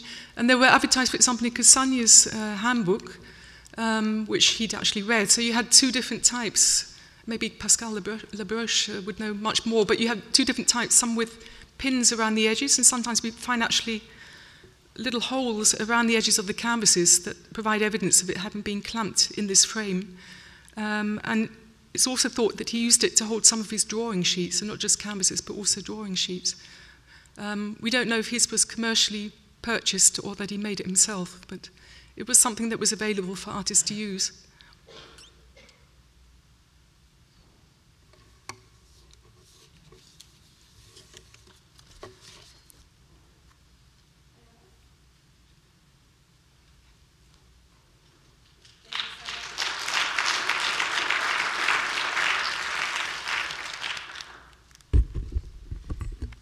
I'm sure we'll be returning to Van Gogh um, in the conversation, so that's uh, not, not over yet.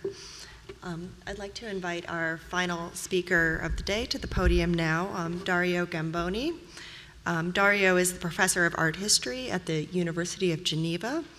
His publications include The Destruction of Art, Iconoclasm and Vandalism Since the French Revolution of 1997, Potential Images, Ambiguity, and Indeterminacy in Modern Art from 2002, The Brush and the Pen, Odilon Redon, and Literature from 1989 and 2011, and most recently, Paul Gauguin, The Mysterious Center of Thought, um, 2014. He's a collaborator on our upcoming Paul Gauguin exhibition and on the printed catalog and online publication that will accompany it. So please join me in welcoming Dario.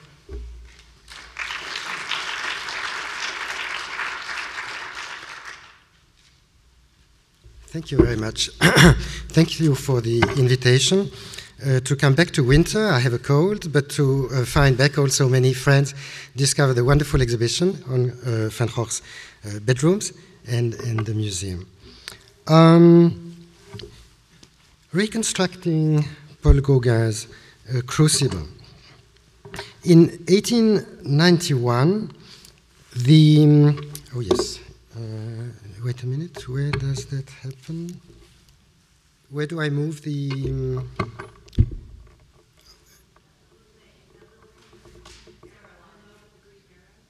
uh, where is that? I'm sorry.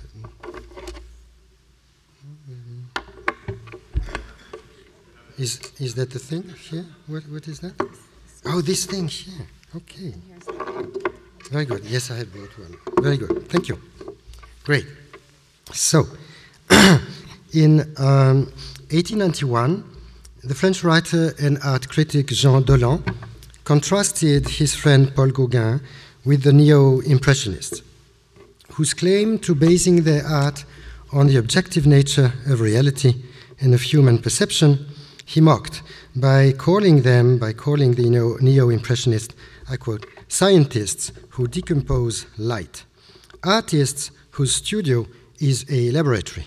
Ah, the scholars of that department of knowledge, physicists, chemists, end of quote. According to Dolent, the basis of Gauguin's art, by contrast, was subjective and interior. I quote, Le creuset de Gauguin est le cerveau. Gauguin's crucible is the brain. And what I've been showing to you is on the right uh, a wonderful self portrait study by Gauguin of 1899, in which one can uh, imagine that the repetition of the eye, uh, where the forehead of the main figure is, suggests a eye of the mind. And on the left, the famous draft of Georges Seurat's letter to Maurice Beaubourg of 1890, in which, for instance, he uh, made reference to the phenomena of the uh, duration of the uh, luminous impression on the retina.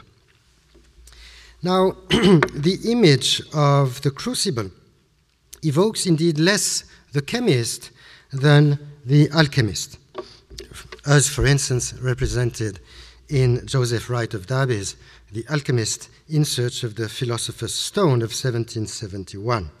So the alchemist does work on matter, on materials, but his aim is spiritual. And uh, he aims at it at a transubstantiation, and which is, or according to some at least, an image also and a tool for an inner transformation. Now, does that um, statement by Dolent, uh, Gauguin's crucible is the brain, do justice to Gauguin's own ideas and aims? Indeed, Gauguin liked the article. He copied it and he pasted it in one of his manuscripts.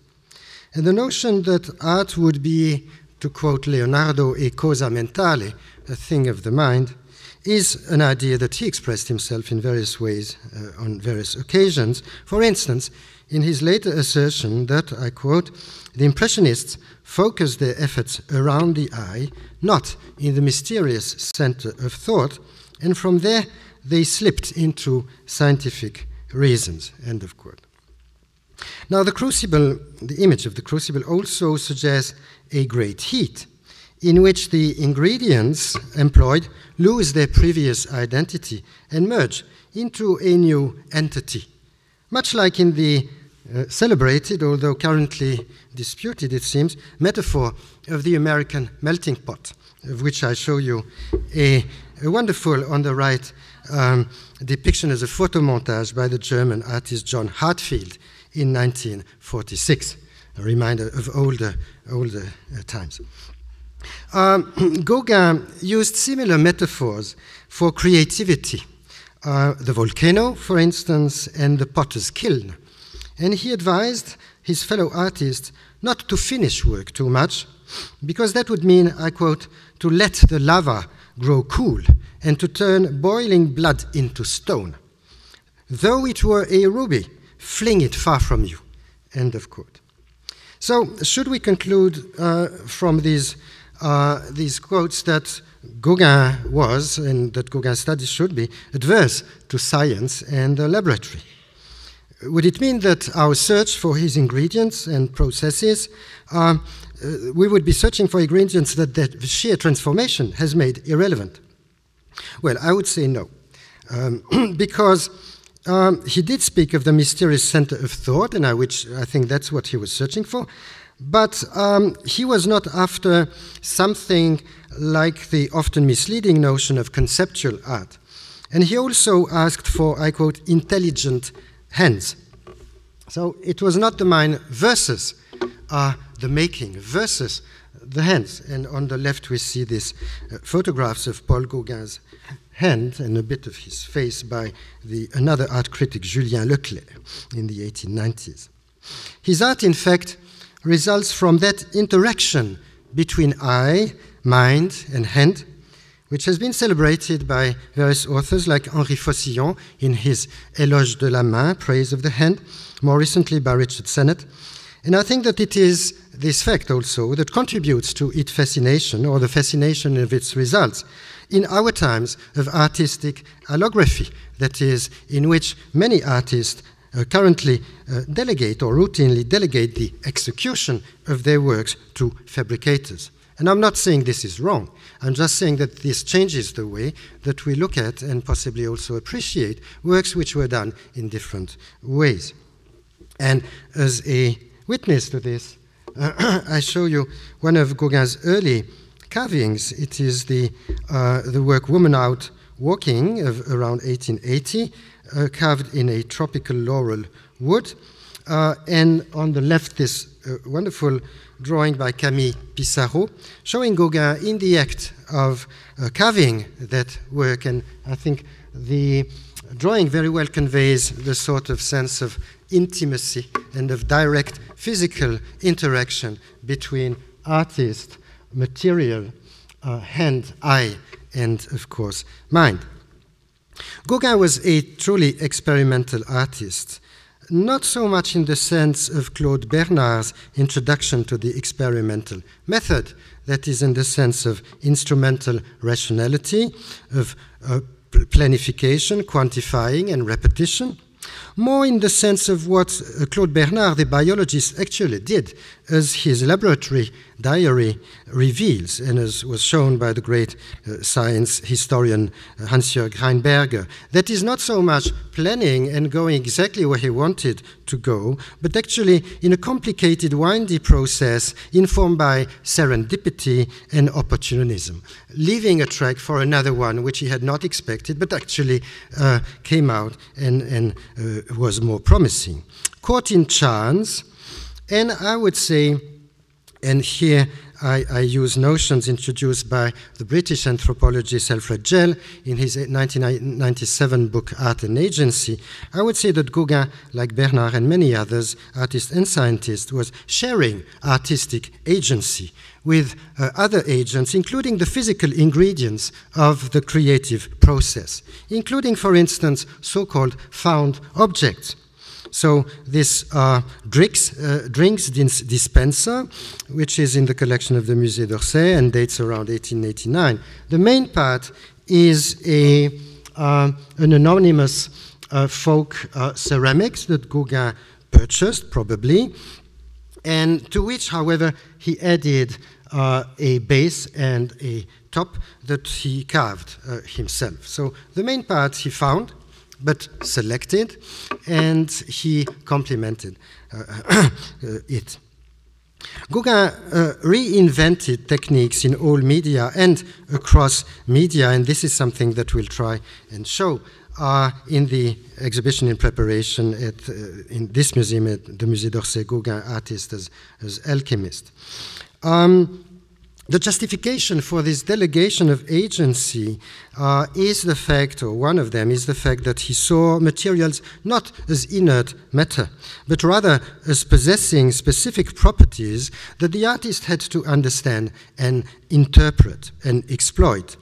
In the passage on intelligent hands that I mentioned, which was about ceramics, um, he suggested to replace, I quote, the potter at his wheel by intelligent hands which could impart the life of a figure to a vase and yet remain true to the character of the material, end of quote.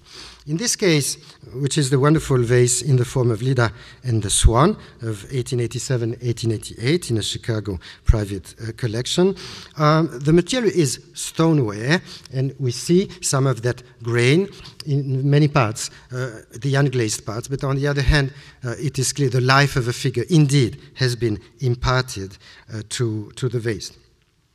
As much, uh, therefore, as an alchemist, Gauguin can be described as a bricoleur, a tinkerer, in the sense that has been given to the word by Claude Lévi-Strauss in La Pensée Sauvage, Wild Thought, when he observed that the handyman's means, the tinkerer's means, I quote, each represent a set of actual and possible relations, but do not on that account have one definite and determinate use. Therefore, what we call recycling, repurposing, also mean using on purpose materials that are already to some extent preformed and therefore will constrain but also stimulate uh, invention. This makes retracing the genesis of Gauguin's works essential to their understanding since so much is, is uh, so much of them is bound to the process rather than deriving from a preconceived uh, project. And to some extent, I was thinking, without wanting to open the Pandora's box of interpretation after Ann Hoenigswald's uh, paper on, on Manet's old musician, but of course you wonder if, if so much of the composition comes in the process of painting, what does this mean about semantics also? Um, so this means that what we have to study is very much, or maybe the way we can reframe uh, art history or uh, complement it is what Valéry, Paul Valéry in the 1930s uh, called poietic and asked for a poietic poetics that is the study of poiesis, the study of the work of art, not as a finite, as a definite result, but as a making, as a process. Um, this is something that has been done, and for instance, in literary studies, there is a whole brand of research which has started in France, by the way, and called uh, Analyse Génétique, genetical an analysis, and which has tended to replace the authoritative published version of a text in favor of the interpretation and the analysis and interpretation of its various stages, of the anti text, as the authors uh, of that genre uh, call. Art history, of course, has been doing this for a long time, uh, looking at sketches and at studies. But in the case of a work of art, a lot of the equivalent of the anti text is within the final work, is subsumed in the final work. And it needs very close observation and material analysis to find it back, to retrace it, to find its traces within uh, the appearance of the final work, and therefore it calls for a, a collaboration between art historians, conservators, and materials, uh, material scientists. So, um, for instance, if you look at the vase in the form of, of here I show, and thanks to the Art Institute of Chicago, an X ray photograph showing on the left uh, the lighter horizontal lines of joins between bands of clay, which shows that it was a, a, a so-called slab construction uh, by which he created the vase. And on the right, we have an X-ray computed uh, uh, tomography slice showing the construction of the vase with the attachment of the leg on the right over, over the plate and the wall and the wall of the vessel, and then the formation of the uh, the head of the uh, goose swan here uh, at the upper right and the addition of the nose here on the left. So we can uh, go beyond what we can see with the naked eye, uh, and it's very rare actually that one can really take a very close look at these objects, but we can really try and reconstruct the way they were, they were made. Now, I have had the privilege of having enjoyed such a dialogue with the Art Institute of Chicago for, for many years, and especially with the departments of prints and drawings. For instance, for an article uh, that was published in 2007 in the Art Bulletin, in which I elaborated on a discovery made in 1976 in this house by Susan Folds McCullagh and Inger Christine Swenson, the discovery of a direct link existing between two lithographs published in 1891 by Odilon Redon.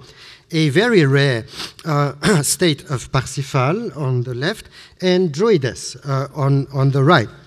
Uh, and maybe you see better that they are indeed genetically connected. If I put uh, Parsifal upside down, you may observe that there are many uh, similarities. And, and, there's been a process of transfer between the two. But it is out of this version of Parsifal that Redon made actually the Druides and then shortened the composition as you see on the side. So, in my article, I, in, in my analysis, I tried to explore the cultural and artistic implications of this metamorphosis.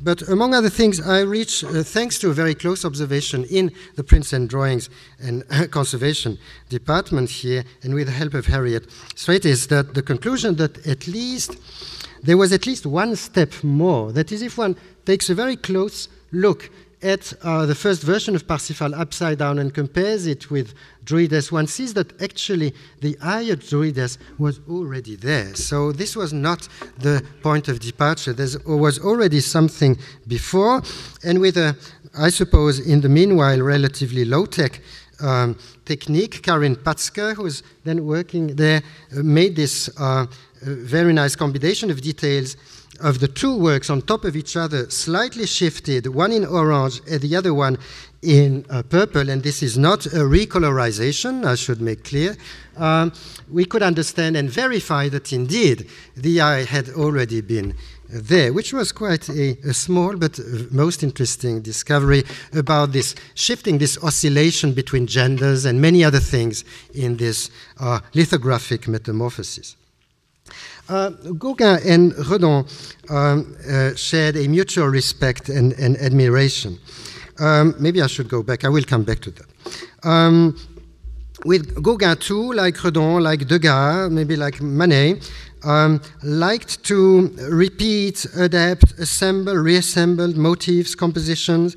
But what may appear at first sight as a form of recycling was really also a way of generating variety, prompting invention, and, and uh, creating meaning.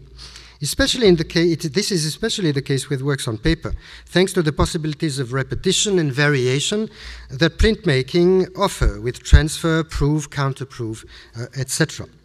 Now, the Art Institute in general and the Department of Prints and Drawings in particular have a long history of collecting and studying these objects and processes. And here comes my, I also bring uh, portraits of colleagues, as you see here. Um, so, uh, which have resulted, among other things, in uh, major publications uh, and even uh, milestones publications, such as the catalogue The Art of Paul Gauguin, 1988, edited by Richard Brettell, Van Gogh and Gauguin, The Studio of the South, in 2001 by uh, Douglas Druick and Peter Zegers with Britt Salvesen. Articles such as Kristi Dahm's, Paul Gauguin's paintings on paper, infrared investigations, and their implications for three works from the Art Institute of Chicago collection, 2004, and especially maybe the wonderful article by Peter Kort Zegers in the kitchen with Paul Gauguin, devising recipes for a symbolist graphic aesthetic, published in the collection of essays edited by Harriet Stratis and Britt Salvesen, The Broad Spectrum, Studies in the Material techniques and conservation of works on paper. So I think also that this continuous effort, this cumulative effort, is extremely important, even in terms of institutional memory. And therefore, this is why I make my own small collage. On the left, we see Harriet uh, holding a photograph which hangs in the Prints and drawings department of Carl O. Schniewind, which was then uh, um, head of and drawings, holding himself a a, colored drawing by uh, Gauguin in the collection, on the back of which had been discovered another drawing. And the funny thing is that this is a mirror, actually. Each one sees the uh, recto, and this is the verso. And so it could go on like that. I suppose it should go on, absolutely. Um, so, the, uh, a recent uh, and wonderful opportunity for a systematic look into Gauguin's works in the collection and including on paper, to which I, I uh, was uh, privileged to collaborate, is the new catalogue of Gauguin holdings in the collection in the context of the online scholarly catalogue initiative. So I can't wait for it to be on the air. I understand this should be by early, early summer.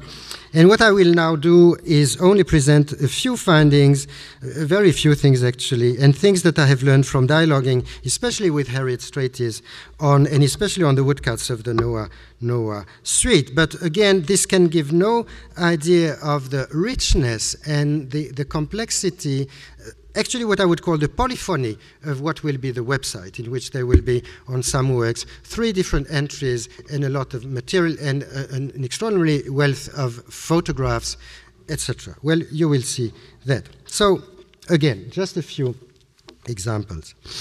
Um, first, something that should be obvious but that we tend to forget is that the current appearance of a work of art is not necessarily the way it originally looked when it left the artist's hands, uh, studio, etc. And so, even a such a colorful work as this uh, version in pen and ink and brush and watercolor on, on paper of Pape Moe, uh, the source of 1893-94, uh, has lost uh, a lot of its, of its color. Uh, however, if I may, uh, this is a slight comment and maybe an introduction to our future discussion, but uh, on what we have heard and discussed, I think that this should by no means disqualify the work which now exists and to which we can have an immediate sensory uh, access. We should certainly not disqualify this work and replace it as the work of art that interests us in favor of a virtual artifact such as a recolorization. They can complement our understanding of it, certainly, but they should by no means replace it. Now, moving to woodcuts.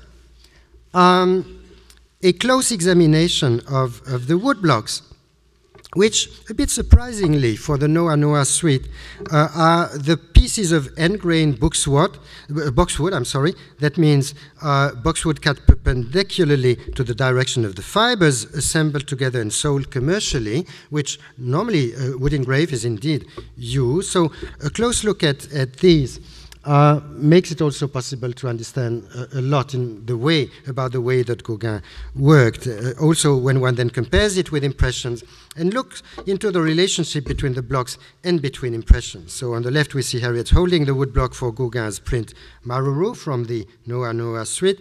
On the right, various impressions being disposed for examination on the uh, thankfully large table of the prints and drawings department, and on top a proposed reconstruction of a frieze-like display of Gauguin's so later so-called Vollard suite of 1998-1999. And Harriet, by examining closely these works, also uh, came to the conclusion that some of them had been cut from the two in the two sides of the same piece of wood, and that also is very useful to understand the genesis of the of the series. Um, comparing the, as I said, woodblock and impressions, um, and the various impressions, one also understands how for Gauguin printing itself was a creative act. A sort of con continuing poiesis, if you wish. That is, the making of the work of art was not finished with carving the woodblock, it went on with printing. Uh, it was not simply the transmission of the information deposited by uh, cutting in, into the block. Um, as can be seen by comparing the treatment of the, the recumbent body of the woman in Manao Tupapau um, in the block, that is the block, uh, with the needle and later with the burin, uh, which is perfectly recognizable on the right in this posthumous printing of the block by Gauguin's son Pola in 1921, because Pola managed to devise a way of printing by using two different rubbers, one soft, one hard, so as to get all of the information that was in the block. It's almost a sort of uh, ra radiograph, if you wish, of the block. But this is not at all what Gauguin wanted does not, it gives us a lot of information, but it does, does not correspond to the images that he wanted to uh, produce. Uh, and this, which is one of his impressions gets a much better idea. And remarkably, this very fine and, and careful delineation and modeling of the body is replaced by a very different uh, technique by uh, wiping and twilling, that is applying a fabric on the inked block, in order to produce a softer appearance, more sensuous, and in a sense, more painterly. Uh, Gauguin's impressions um, are extremely varied, and I think that they can and maybe should be compared to different interpretations of a musical score. Um, in uh, one impression, uh, in this one, here, uh, for instance, the outline, and I, I, bring the, the painting in the Albright Knox gallery uh, to identify the uh, iconography. Uh, you see that the Tupapau, the spirit of the dead, leaning against a pole here, they are illegible, and uh, someone who encounters only this woodcut, this print, cannot possibly understand what is depicted or referred to, to there. Uh, they become simple um, uh, they are extraordinarily enigmatic, and the dark ground is merely interrupted by enigmatic flashes of light. In another one, here, um, ah, okay, in another one, also by Gauguin, which was obtained by printing the book three times in black, brown, and gray. On the contrary, the tupapau is emphasized with a luminous eye and mouth and a sort of brooding sphinx like presence. And therefore, from one impression to the, to the next, the emphasis tends to shift and different aspects of the work uh, come to, uh, to the fore. I believe that this variety and this variability uh, produced by this way of printing uh, is to some extent comparable to Gauguin's exploitation in three dimensional work of multiple viewpoints. Uh, the Germans have a wonderful expression for that, Mehransichtigkeit. um, so the fact of having for a same object various uh, relevant viewpoints. Um, to produce, and this Gauguin used, among other things, to produce ambiguity and the suggestion of various images, what I like to call polyiconicity. So we have this, uh, again, Leda and the Swan, and the drawing, the, the, watercolor on the left, which is at Vassar College, uh, shows us twice the, the same vase from different viewpoints. Uh, and then another vase, which is in Copenhagen, uh, of a female bust with a, a, belt in the shape of a, of a snake. And I think that on the one hand, these two depictions of the same vase from different viewpoints do make it clear how much Gauguin was interested in this variety of appearances of the same object depending on the viewpoint. But on the other hand, I think he also made it obvious that depending on the viewpoint, uh, the interpretation, it was not just a matter of details. The work itself really morphs uh, is subjected to a metamorphosis. And for instance, the fact that the handle, which is also the neck of the goose and the swan, suggests a snake becomes clearer when also compared with this uh, snake uh, belt. Gauguin also resorted to what we like to call chance, and again, which I think is a way of distributing or delegating uh, agency. For instance, in some uh, impressions of Mahna no Varua Ino, the day of the evil spirits, which we have already uh, seen, subjected to uh, analysis, some um, uh, we find optical and textual effects. This is a Pola impression here.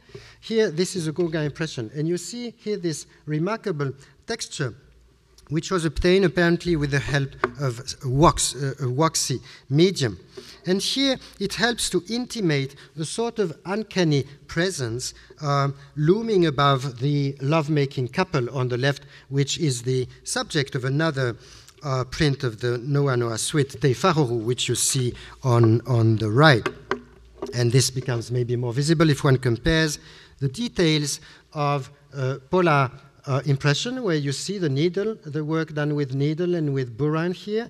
It remains very abstract and ambiguous, but there is the suggestion of something. Here we have this extraordinary uh, texture obtained with this waxy medium, and on the right here we have much more clearly, much more explicitly a head above the couple in Te uh, Mauru. Now, this sort of insubstantial apparition carried by the smoke or the surf has been logically interpreted as uh, that of a supernatural uh, entity. Henri Dorra suggested to identify it as the image of Tefatu, the destructive god of earth and of earthquakes. Um, another effect produced by this is an effect, I believe, of animation, for which Gauguin also used off register printing. And, and I like to speak of the uh, the, the, mobility of the fixed image. Uh, we often find in exhibitions of contemporary art, for instance, this unfair competition of the moving image and the fixed image. But the notion of the fixed image is very wrong, because fixed images are actually imply movement, but this movement takes place in the mind of the viewer and in the process of perception. Now it becomes particularly obvious here with these uh, off-register printings on the left of Nave Nave Fenua, Fragrant Isle, printed in black ink over ochre, over yellow, with red ink on ivory uh, paper. And on the right, this larger, later print of 1894-95, also entitled Manao uh, Tupapau, uh, in which we have here two prints in the, in the collection, and the one below is particularly spectacular. Um, Gauguin used stencil for the coloring of this print, and the one below was printed in black, and the block seems to have slipped during printing. Um, so it may have been in part accidental, but I think an important thing uh, is the fact that Gauguin kept it and therefore regarded it as worth uh, preserving. Um, other interesting discoveries is his use of recto and verso, of the two sides of a work on, on paper. So here, for instance, we have this remarkable work, Women with a Cat, of around 1900, which is a transfer drawing in round, brownish black ink on the recto. But on the verso, which you see here, Gauguin added graphite and blue crayon pencil with brush and solvent washes.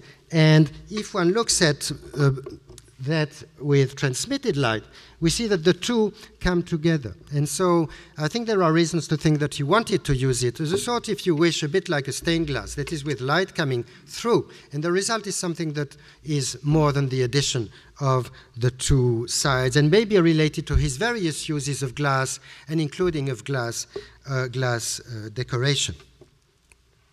And a recent, for me, discovery and something that I think needs to be worked on more, again on recto verso, is we knew already that uh, Gauguin had reused some of the impressions that made under his direction by Louis Roy, which are simpler, were meant to produce a more straightforward edition um, with the use of stencil, stencils and, and, clear, simple color.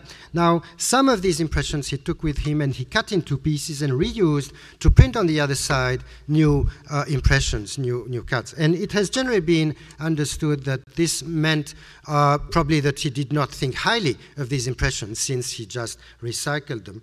But looking more closely, also with the help of Harriet Stratis, looking more closely at what is on the other side, uh, I have started to wonder whether uh, there was more to it than that. So, for instance, if we look at this very important document on the right, which is these two different impressions of the important woodcut Oviri that Gauguin uh, pasted uh, side to side and sent and gave to Stéphane Mallarmé with the inscription, cette étrange uh, figure. If one looks on the other side, one finds twice details from the woodcut Mana Novarois uh, Ino, and especially of the important detail of this bonfire, which is a sort of supernatural presence and replace uh, uh the image of an idol or some sort of uh, godly entity that one sees in an earlier, in a study for the painting uh, Upa Upa. So the fact that in both cases it is this image which, by the way, in its outline does bear some relationship to the Oviri figure, suggests that maybe for him uh, there was a connection between the two, and the fact that they were on both sides of the same support may have been uh, meaningful. Coming to my last point, in, in simpler cases uh, of impressions, we see how Gauguin uh, was interested in the uh, textual effect of embossing. And for instance, here in this impression of the uh, Atua, we have on uh, below, we have a print by Louis Roy with this very clear cut, thanks to stencil, uh, divisions of color. But on the top, we have a, a, an impression by Gauguin himself in which he used apparently only traces of brown ink which had been left for an earlier impression. So the, res the result is a sort of gaufrage. It is just a question of surface, essentially.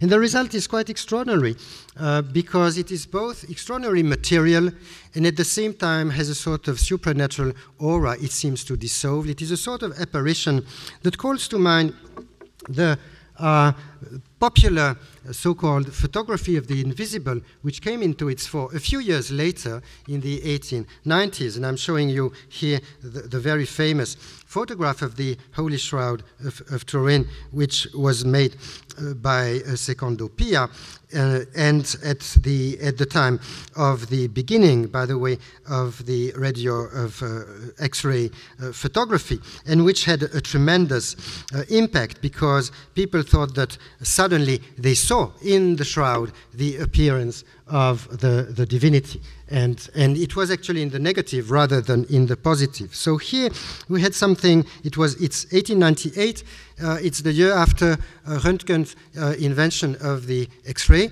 and the impact was a bit uh, comparable and connected with the extraordinary cultural impact of the invention of the uh, X-ray. And I keep that image for the end because I think so. My conclusion is that uh, indeed uh, art history profits enormously, I speak here as an art historian, from the, this, this, development of these techniques of inquiry into the making of the work of art and its material uh, uh substance. But this is a matter of dialogue. And we need to foster that dialogue, and I think it should become much more widespread. And this, uh, what is happening here, is helping enormously to that. It is not an autonomous revelation of the machine itself which would produce truth. And I say that only because we've seen that with neuroscience. Uh, there's a fascination produced by these images which seem to come from below the surface, indeed, and uh, seem to make it possible to see truth uh, in itself directly with our own eyes. And of course, these are prostheses. They eventually always are connected and need to be interpreted by the human eye, and therefore we are always all involved in that. And that I think we should remember but this is really rather an encouragement to continue the discussion. So thank you for your uh, attention.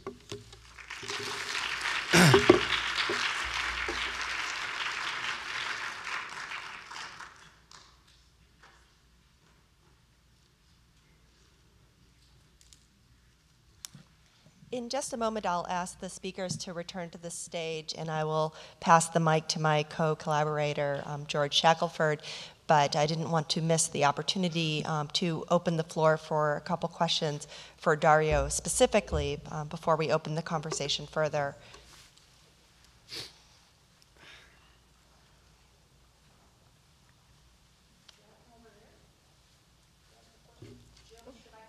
Yes, please.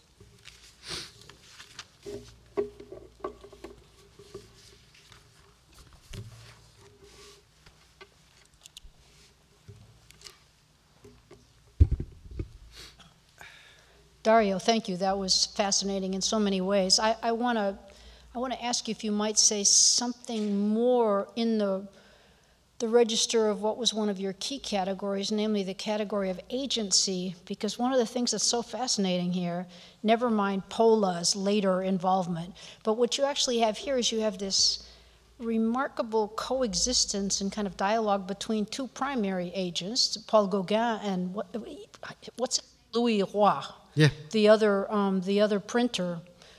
And I, I don't quite understand how we should understand the sort of deferral of primary printer agency to Louis Roy. You said in some cases when he wanted to produce a clearer edition, because it seems to me that the way in he messes with various kinds of effects that can only be gotten in certain kinds of idiosyncratic printing processes to all of us and say, oh, well, sometimes he handed it over to someone else. How do we understand the refashioning of printing agency when it's handed over to the, the, someone else. Could you say a few more words about that? Oh yes, certainly. So I, will try not be too long because one could go on for a long time.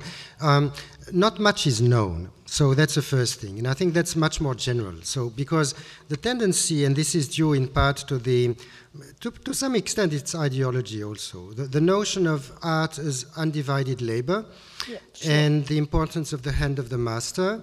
And this is also shortly, it, it was not so long before that that one started producing limited editions, all of them signed by the artist and numbered and so on. So you have this notion that the, the art, and that corresponds well to, to Gauguin's own um, understanding of the true to the material aesthetics, if you wish. So he's really hands on all the time. Nonetheless, uh, printmaking uh, is a collaborative process, and there was always an involvement of professional printmakers, etc. But this has tended to be, um, with the uh, épreuve d'artiste and so on, this has tended to, to, be, this had to be to some extent sorted in the background, if you wish. So one does not speak too much. People knew about that. There were very important uh, master printers Clot, for instance, who could be very important in, in the, the actual work. They would actually go to artists and say, you know what, thanks to transfer, you, can, you don't need to know how to make prints. You can make prints and so on.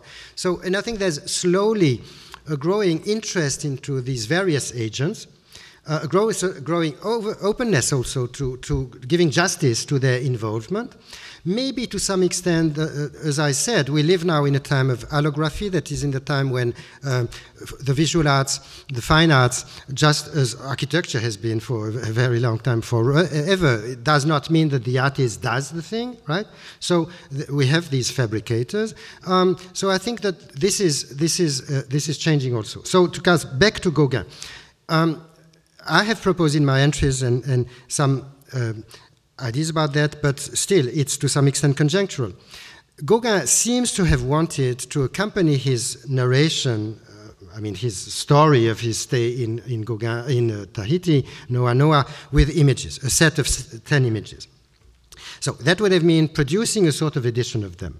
Uh, however, the result, the way he printed, means that each, each impression is different. Now, that's, it's wonderful for us, but it's very inconvenient as, as, a process, if you wish. Now, we don't know whether he just got carried away, that's quite possible, by, by the sheer fun of it, and, and, and I think he learned a lot also for his uh, painting and so on. In any case, uh, at some point he turned to this Louis Roy, who does not seem, interestingly, to have had much experience as far as printing was concerned either. So this is also, that's one of the many oddities. And together, apparently, they devised this uh, rather nice technique with this stencil. And I mean, these are completely different impressions. They look completely different. They, they have their own qualities. They are much more flatter, so, but some of them are extraordinarily strong and striking and so on. This made it possible, and we assumed that there were some 25 or so impressions of each, but, but no one has managed, I, I, get, I think, to have the complete calculation, etc. But this was not published either, really. I mean, there was no but maybe, bec maybe because of the problems with Charles Morice and the text and so on. So we don't quite know, but um, hopefully we'll know more. I mean, once the question are, are asked, there's a chance. And as I said, I really, I really hope very much from crowd, uh, crowd sourcing there. So maybe. Okay, so, so, so thank you very much, and there's more to continue to talk about. Yeah, I, am sorry, it was probably long, but you no, touched no, no, a very. no, more is more, right? Complicated, yeah, yeah, yeah. right.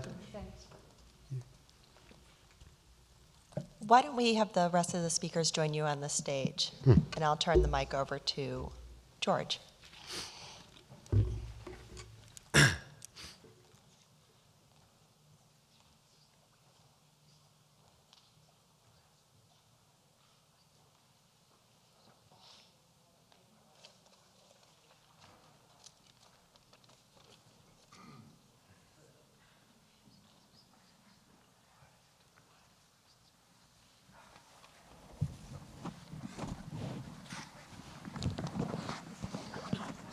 For the very few of you who weren't here last night, um, I'm George Shackelford, the Deputy Director of the Kimbell Art Museum, and uh, I've been asked to be a kind of respondent or organizer of a series of questions uh, for the speakers this afternoon. But I hope what we have to say here um, won't prohibit, what we're doing, talking amongst ourselves, won't have anything, won't um, prohibit anybody from standing up and shouting and saying, no, no, no, I want you to talk about this instead, please. Uh, what, one of the things that struck me is that, um, that we have, we've had two talks today about the sort of single masterpiece. On the one hand, Ann's talk about Manet, Ella's talk about the, um, excuse me, excuse me, about uh, Kelly's talk about the Caillebotte, and then two talks about bodies of material. And one of the things that, that happens is that, you know, Pache, the fact that you're a university professor, you are all working in museums that have, you're working with a museum in this case, with Chicago, where there's an extraordinary richness of material information about uh, whether coming out of the individual huge masterpiece or the collective body of, of, um, of works of art that you have at your disposal. And I wonder whether you all have thoughts about, um, about you know, the difference in working on a project like the Monet catalog raisonné um, for, for Chicago versus the Caillebotte, where there are, you know, a handful of things, but big ones. the, uh, the, the ongoing life of the Van Gogh Museum as a center for Van Gogh studies uh, perpetually.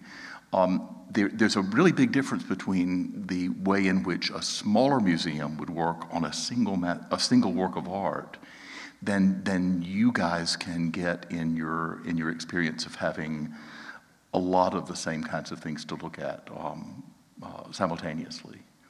Any thoughts? Perhaps my question wasn't sufficiently.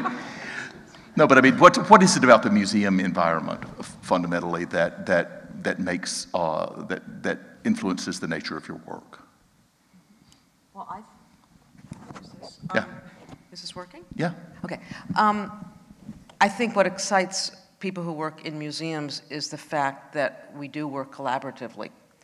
And one of the also very exciting things about for conservation is we're a very small um, group of people for the most part when we collaborate among ourselves too. I mean, the amount of conversation that has been taking place over the last two days um, among our conservation colleagues, in addition to listening to the talks and commenting on the talks, if somebody's working on a picture, they're asking somebody all about it. If somebody's planning an exhibition, a, a curator's planning an exhibition, they're, they're talking to us about it. So I think um, certainly even, whether the museum's large or small, if a museum does have a conservation department, they usually work very closely with the curatorial department and the scientists who are in conservation. And I think um, that's what's, what's very exciting. And it doesn't really matter whether you're working in a museum like the Van Gogh Museum, where there's only, you know, a focus on one artist, or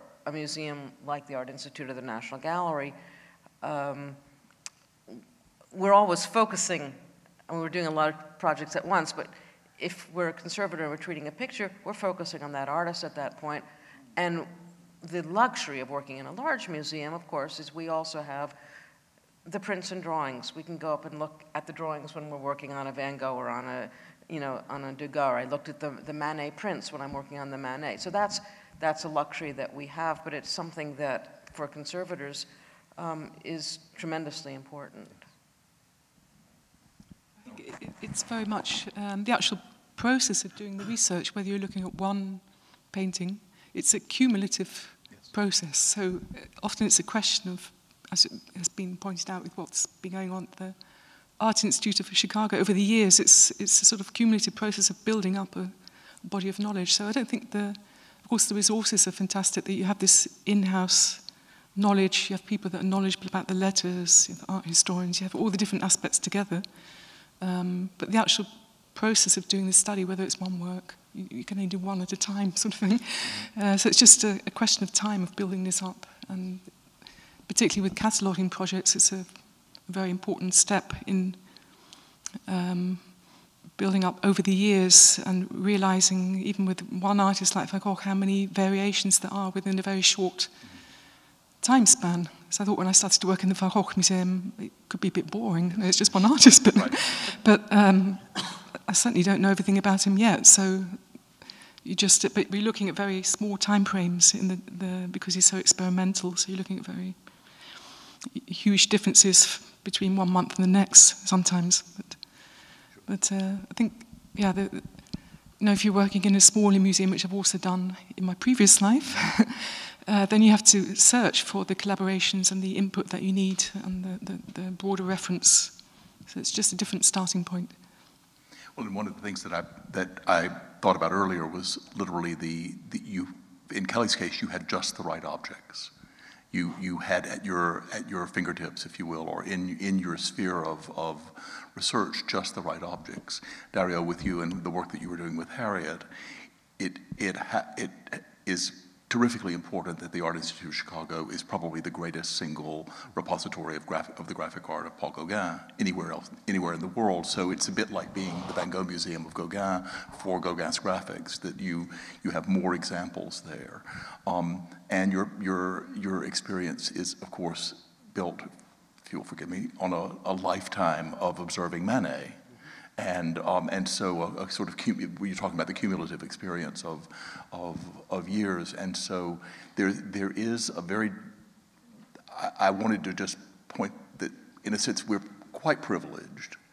In, you know, when I was in Boston, you know, there were 40 Monets in my care, and, and when I was in Boston, there was the Gauguin um, D'où Venons-Nous, and I was working on an exhibition about, about Gauguin, so you could travel everywhere, see everything, do, you know, and Boston has probably the second best collection of, of Gauguin's graphics in the world. So I'm, I'm struck now by having been at a smaller museum, and for the people who are in the, in the audience who aren't necessarily in, uh, you know, dealing with a sort of powerhouse kind of institution, the, I, I, I, note that it's often more difficult to, to make those kinds of connections and to, and to understand the, um, the relationships between things as, as, as we have been so privileged to, to do. May I? Yeah, absolutely. I add something to that, which is that with privilege comes responsibility. And I think that um, such things as these um, exhibitions and projects and catalogs, and, and including or especially these online scholarly catalogs, I think are very much a way of, of um, assuming this responsibility and sharing yes. the result of this uh, cumulative knowledge um, with everyone because the access will be universal, which is extraordinary. Absolutely. Of course, it does not replace the direct access no. too, but uh, but nonetheless, it, it helps a lot, and and also, I mean, uh, people will travel, and I think again, it, it's rather a, an encouragement to come and see things when you really want to see them and work on them. But I think it's it's sharing also. Well, and I think that the the art history that's being written nowadays that acknowledges um, even if the even if the conservator or the research scientist is not the the the named author of the text, when the author is again and again referring to the physical things that he or she has discovered in collaboration with the scientist or the conservator, um, that just strengthens everyone's recognition of the fact that this uh, that this collaboration is critical and it must be more advertised. It must be more put put to the fore in, in, and acknowledged in all of our, in all of our writings and, and publications. Um, what, uh, do you all have any observations on each other's talks? I'm wondering uh, whether, no, I know, but I mean, there, you, there must have been, I mean, I, I, I, asked a couple of questions out there, and, and, Dario, you asked um, questions of Ann. Did, did, it, did, things come, come up to you that you were thinking in the process of, of doing, or shall we open the, the floor to other questions? No? I, was uh, interested because you were also, in a way, talking about recycling uh, materials and that this, um, and looking more at processes, and that this actual recycling of materials becomes an intrinsic part of the, the meaning of the object or the, the content of the object, of the finished product.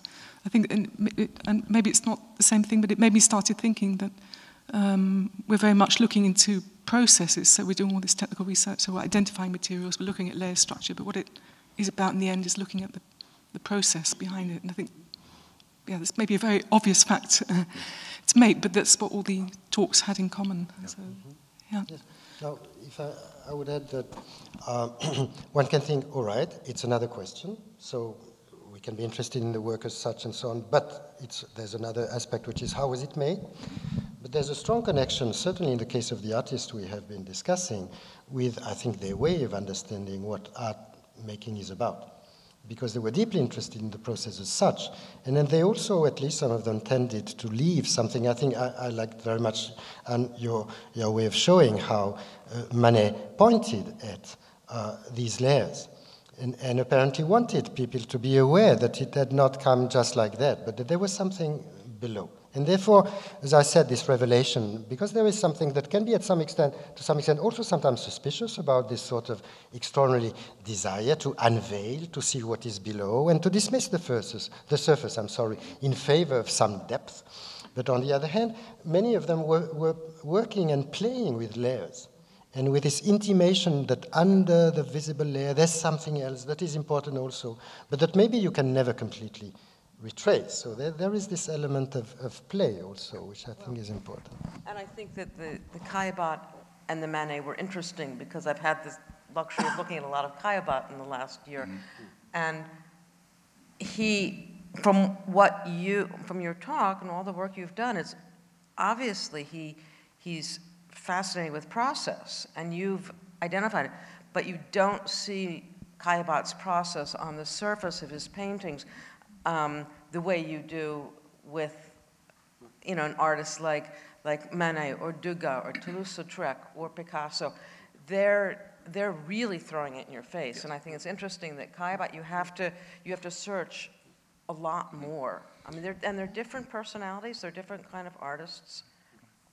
I think that that was one of the things that was most interesting, at least to me, was that, you know, on the surface, you can see it looks very well constructed. We expected it to be, at least I did, fairly straightforward. You know, he drew this out, he painted it. But the sort of everything in that painting is tweaked and reworked and things are scraped back. So, like you say, we may never know, you can't know what's under there, you just know it's gone. Um, and so there's evidence under the surface that all these changes have taken place, but you see none of that from the surface. You don't see, and I mean, there's just no clue. You know, the there were things that I didn't mention, but like the cobblestones, for example, were completely reworked at some point. Um, and so it's just it's kind of amazing what what all was under there in that way. Well, I, would say that I have um, just listening to just literally the four of you. I've been thinking about. Um, uh, you know, future uh, Friday evening lecture topics, uh, one of which is on the edge, um, about the things that happen on the edge, that happen in the process of making something on the edge of the object.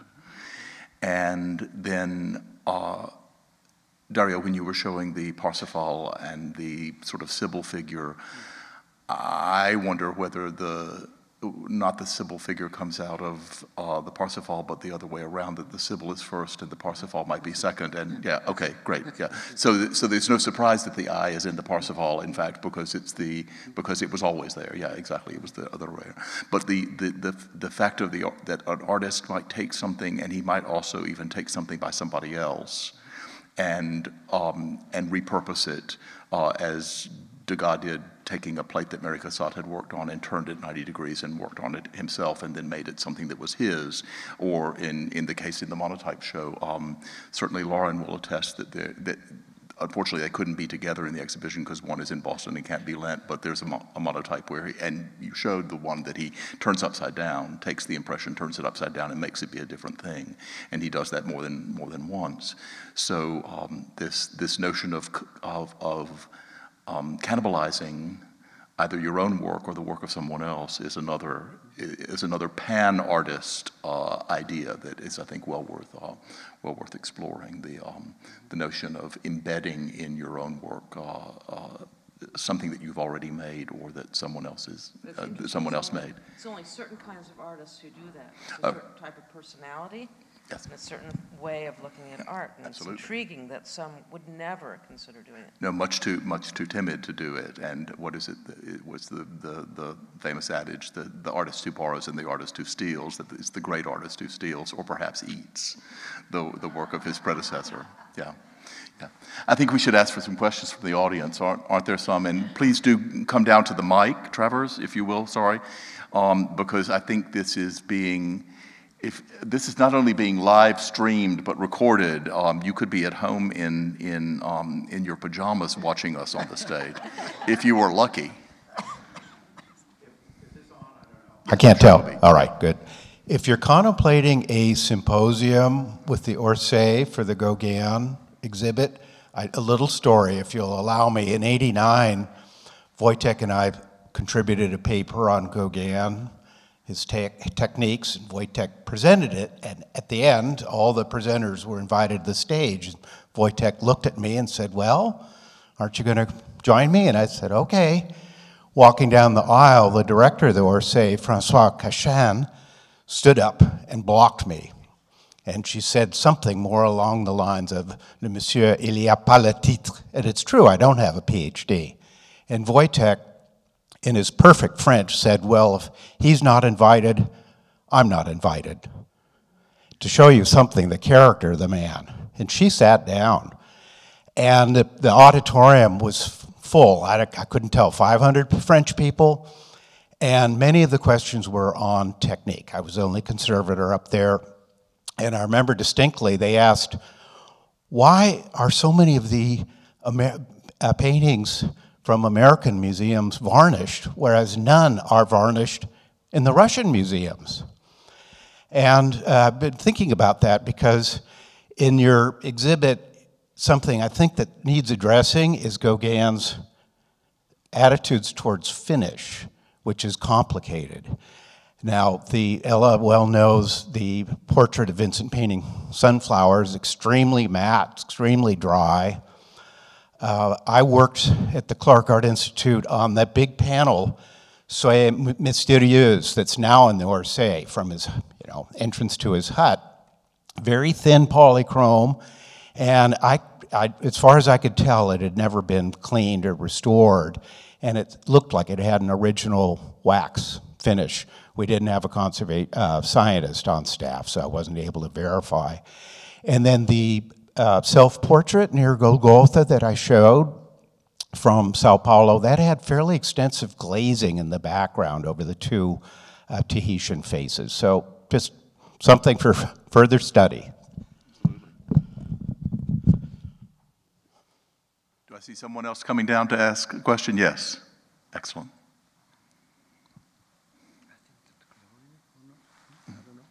She, she'll come to that.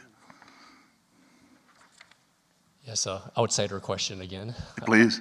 Um, you talked, uh, some of you talked about uh, when they were researching on the, some of the paintings that uh, the painting actually was not originally thought to have been painted by the painter. It was then had to be later reinstated.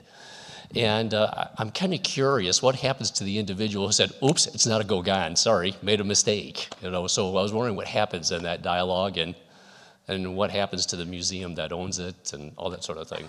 So, thanks. Ella, that's yours, I'm afraid to say. I, I could feel that coming. Um, well, the example I showed, for example, in the, the Kröller-Müller Museum, so of course the museum was uh, really at the, also the driving force behind this uh, examination. And I think that the, the point is where we were talking about whether you look at one artist or we look at a large body of works by one artist, or, um, that your, your research is never finished. So, of course, we, uh, as the years go on, through these cataloguing projects, if I'm talking about Van Gogh, for example, then we have much more comparative material. So things that were looked at maybe 20, 30 years ago, um, technical examinations really only started uh, in the late 80s, the first case studies. So um, we have just so much more information. So it's, I think, in true scholarship, you never say the last word. And um, the museum always makes clear that it's based on what we know at the present moment and it's the opinion of the museum. But of course, every scholar is free uh, to have another opinion.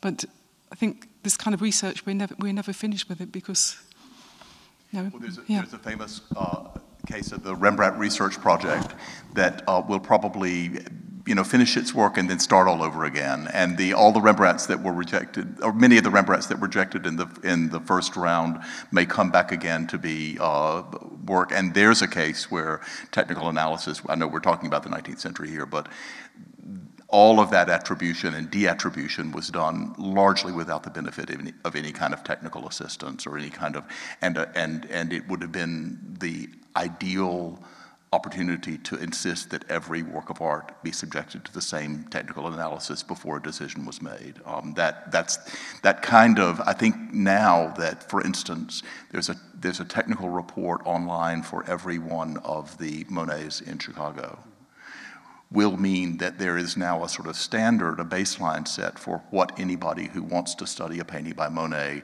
needs to do to, um, to have completed the, the, the, depth of all possible research. And you know, new techniques of um, transmitted IRR, uh, which a lot of people don't regularly do, will, will become, I think, uh, a new source of investigation. And everyone will try, let's try all of these things before we get before we think that we've fully understood the object. And so that's, I think that's exactly right. The misattribution or, or reattribution, um, I know a painting that was in Boston that was a heralded painting by Goya in the, in the 19th century, a very famous picture, then resigned to being a, a, a completely wrong attribution, not a fake, but a, but a misattributed period painting, and was even included in an exhibition about forgeries and deceptions, and now people think it's by Goya again. So it's, uh, it, it, it's not impossible that this can happen again and again. So. All right, I'm afraid that we're at time now. So, George, Dario, and Ella, Kelly, thank you so much for helping us push these questions into some new territory. And uh, to our audience, thank you for joining us uh, for the day and helping us develop this conversation. So, a round of applause for everyone. Thank you.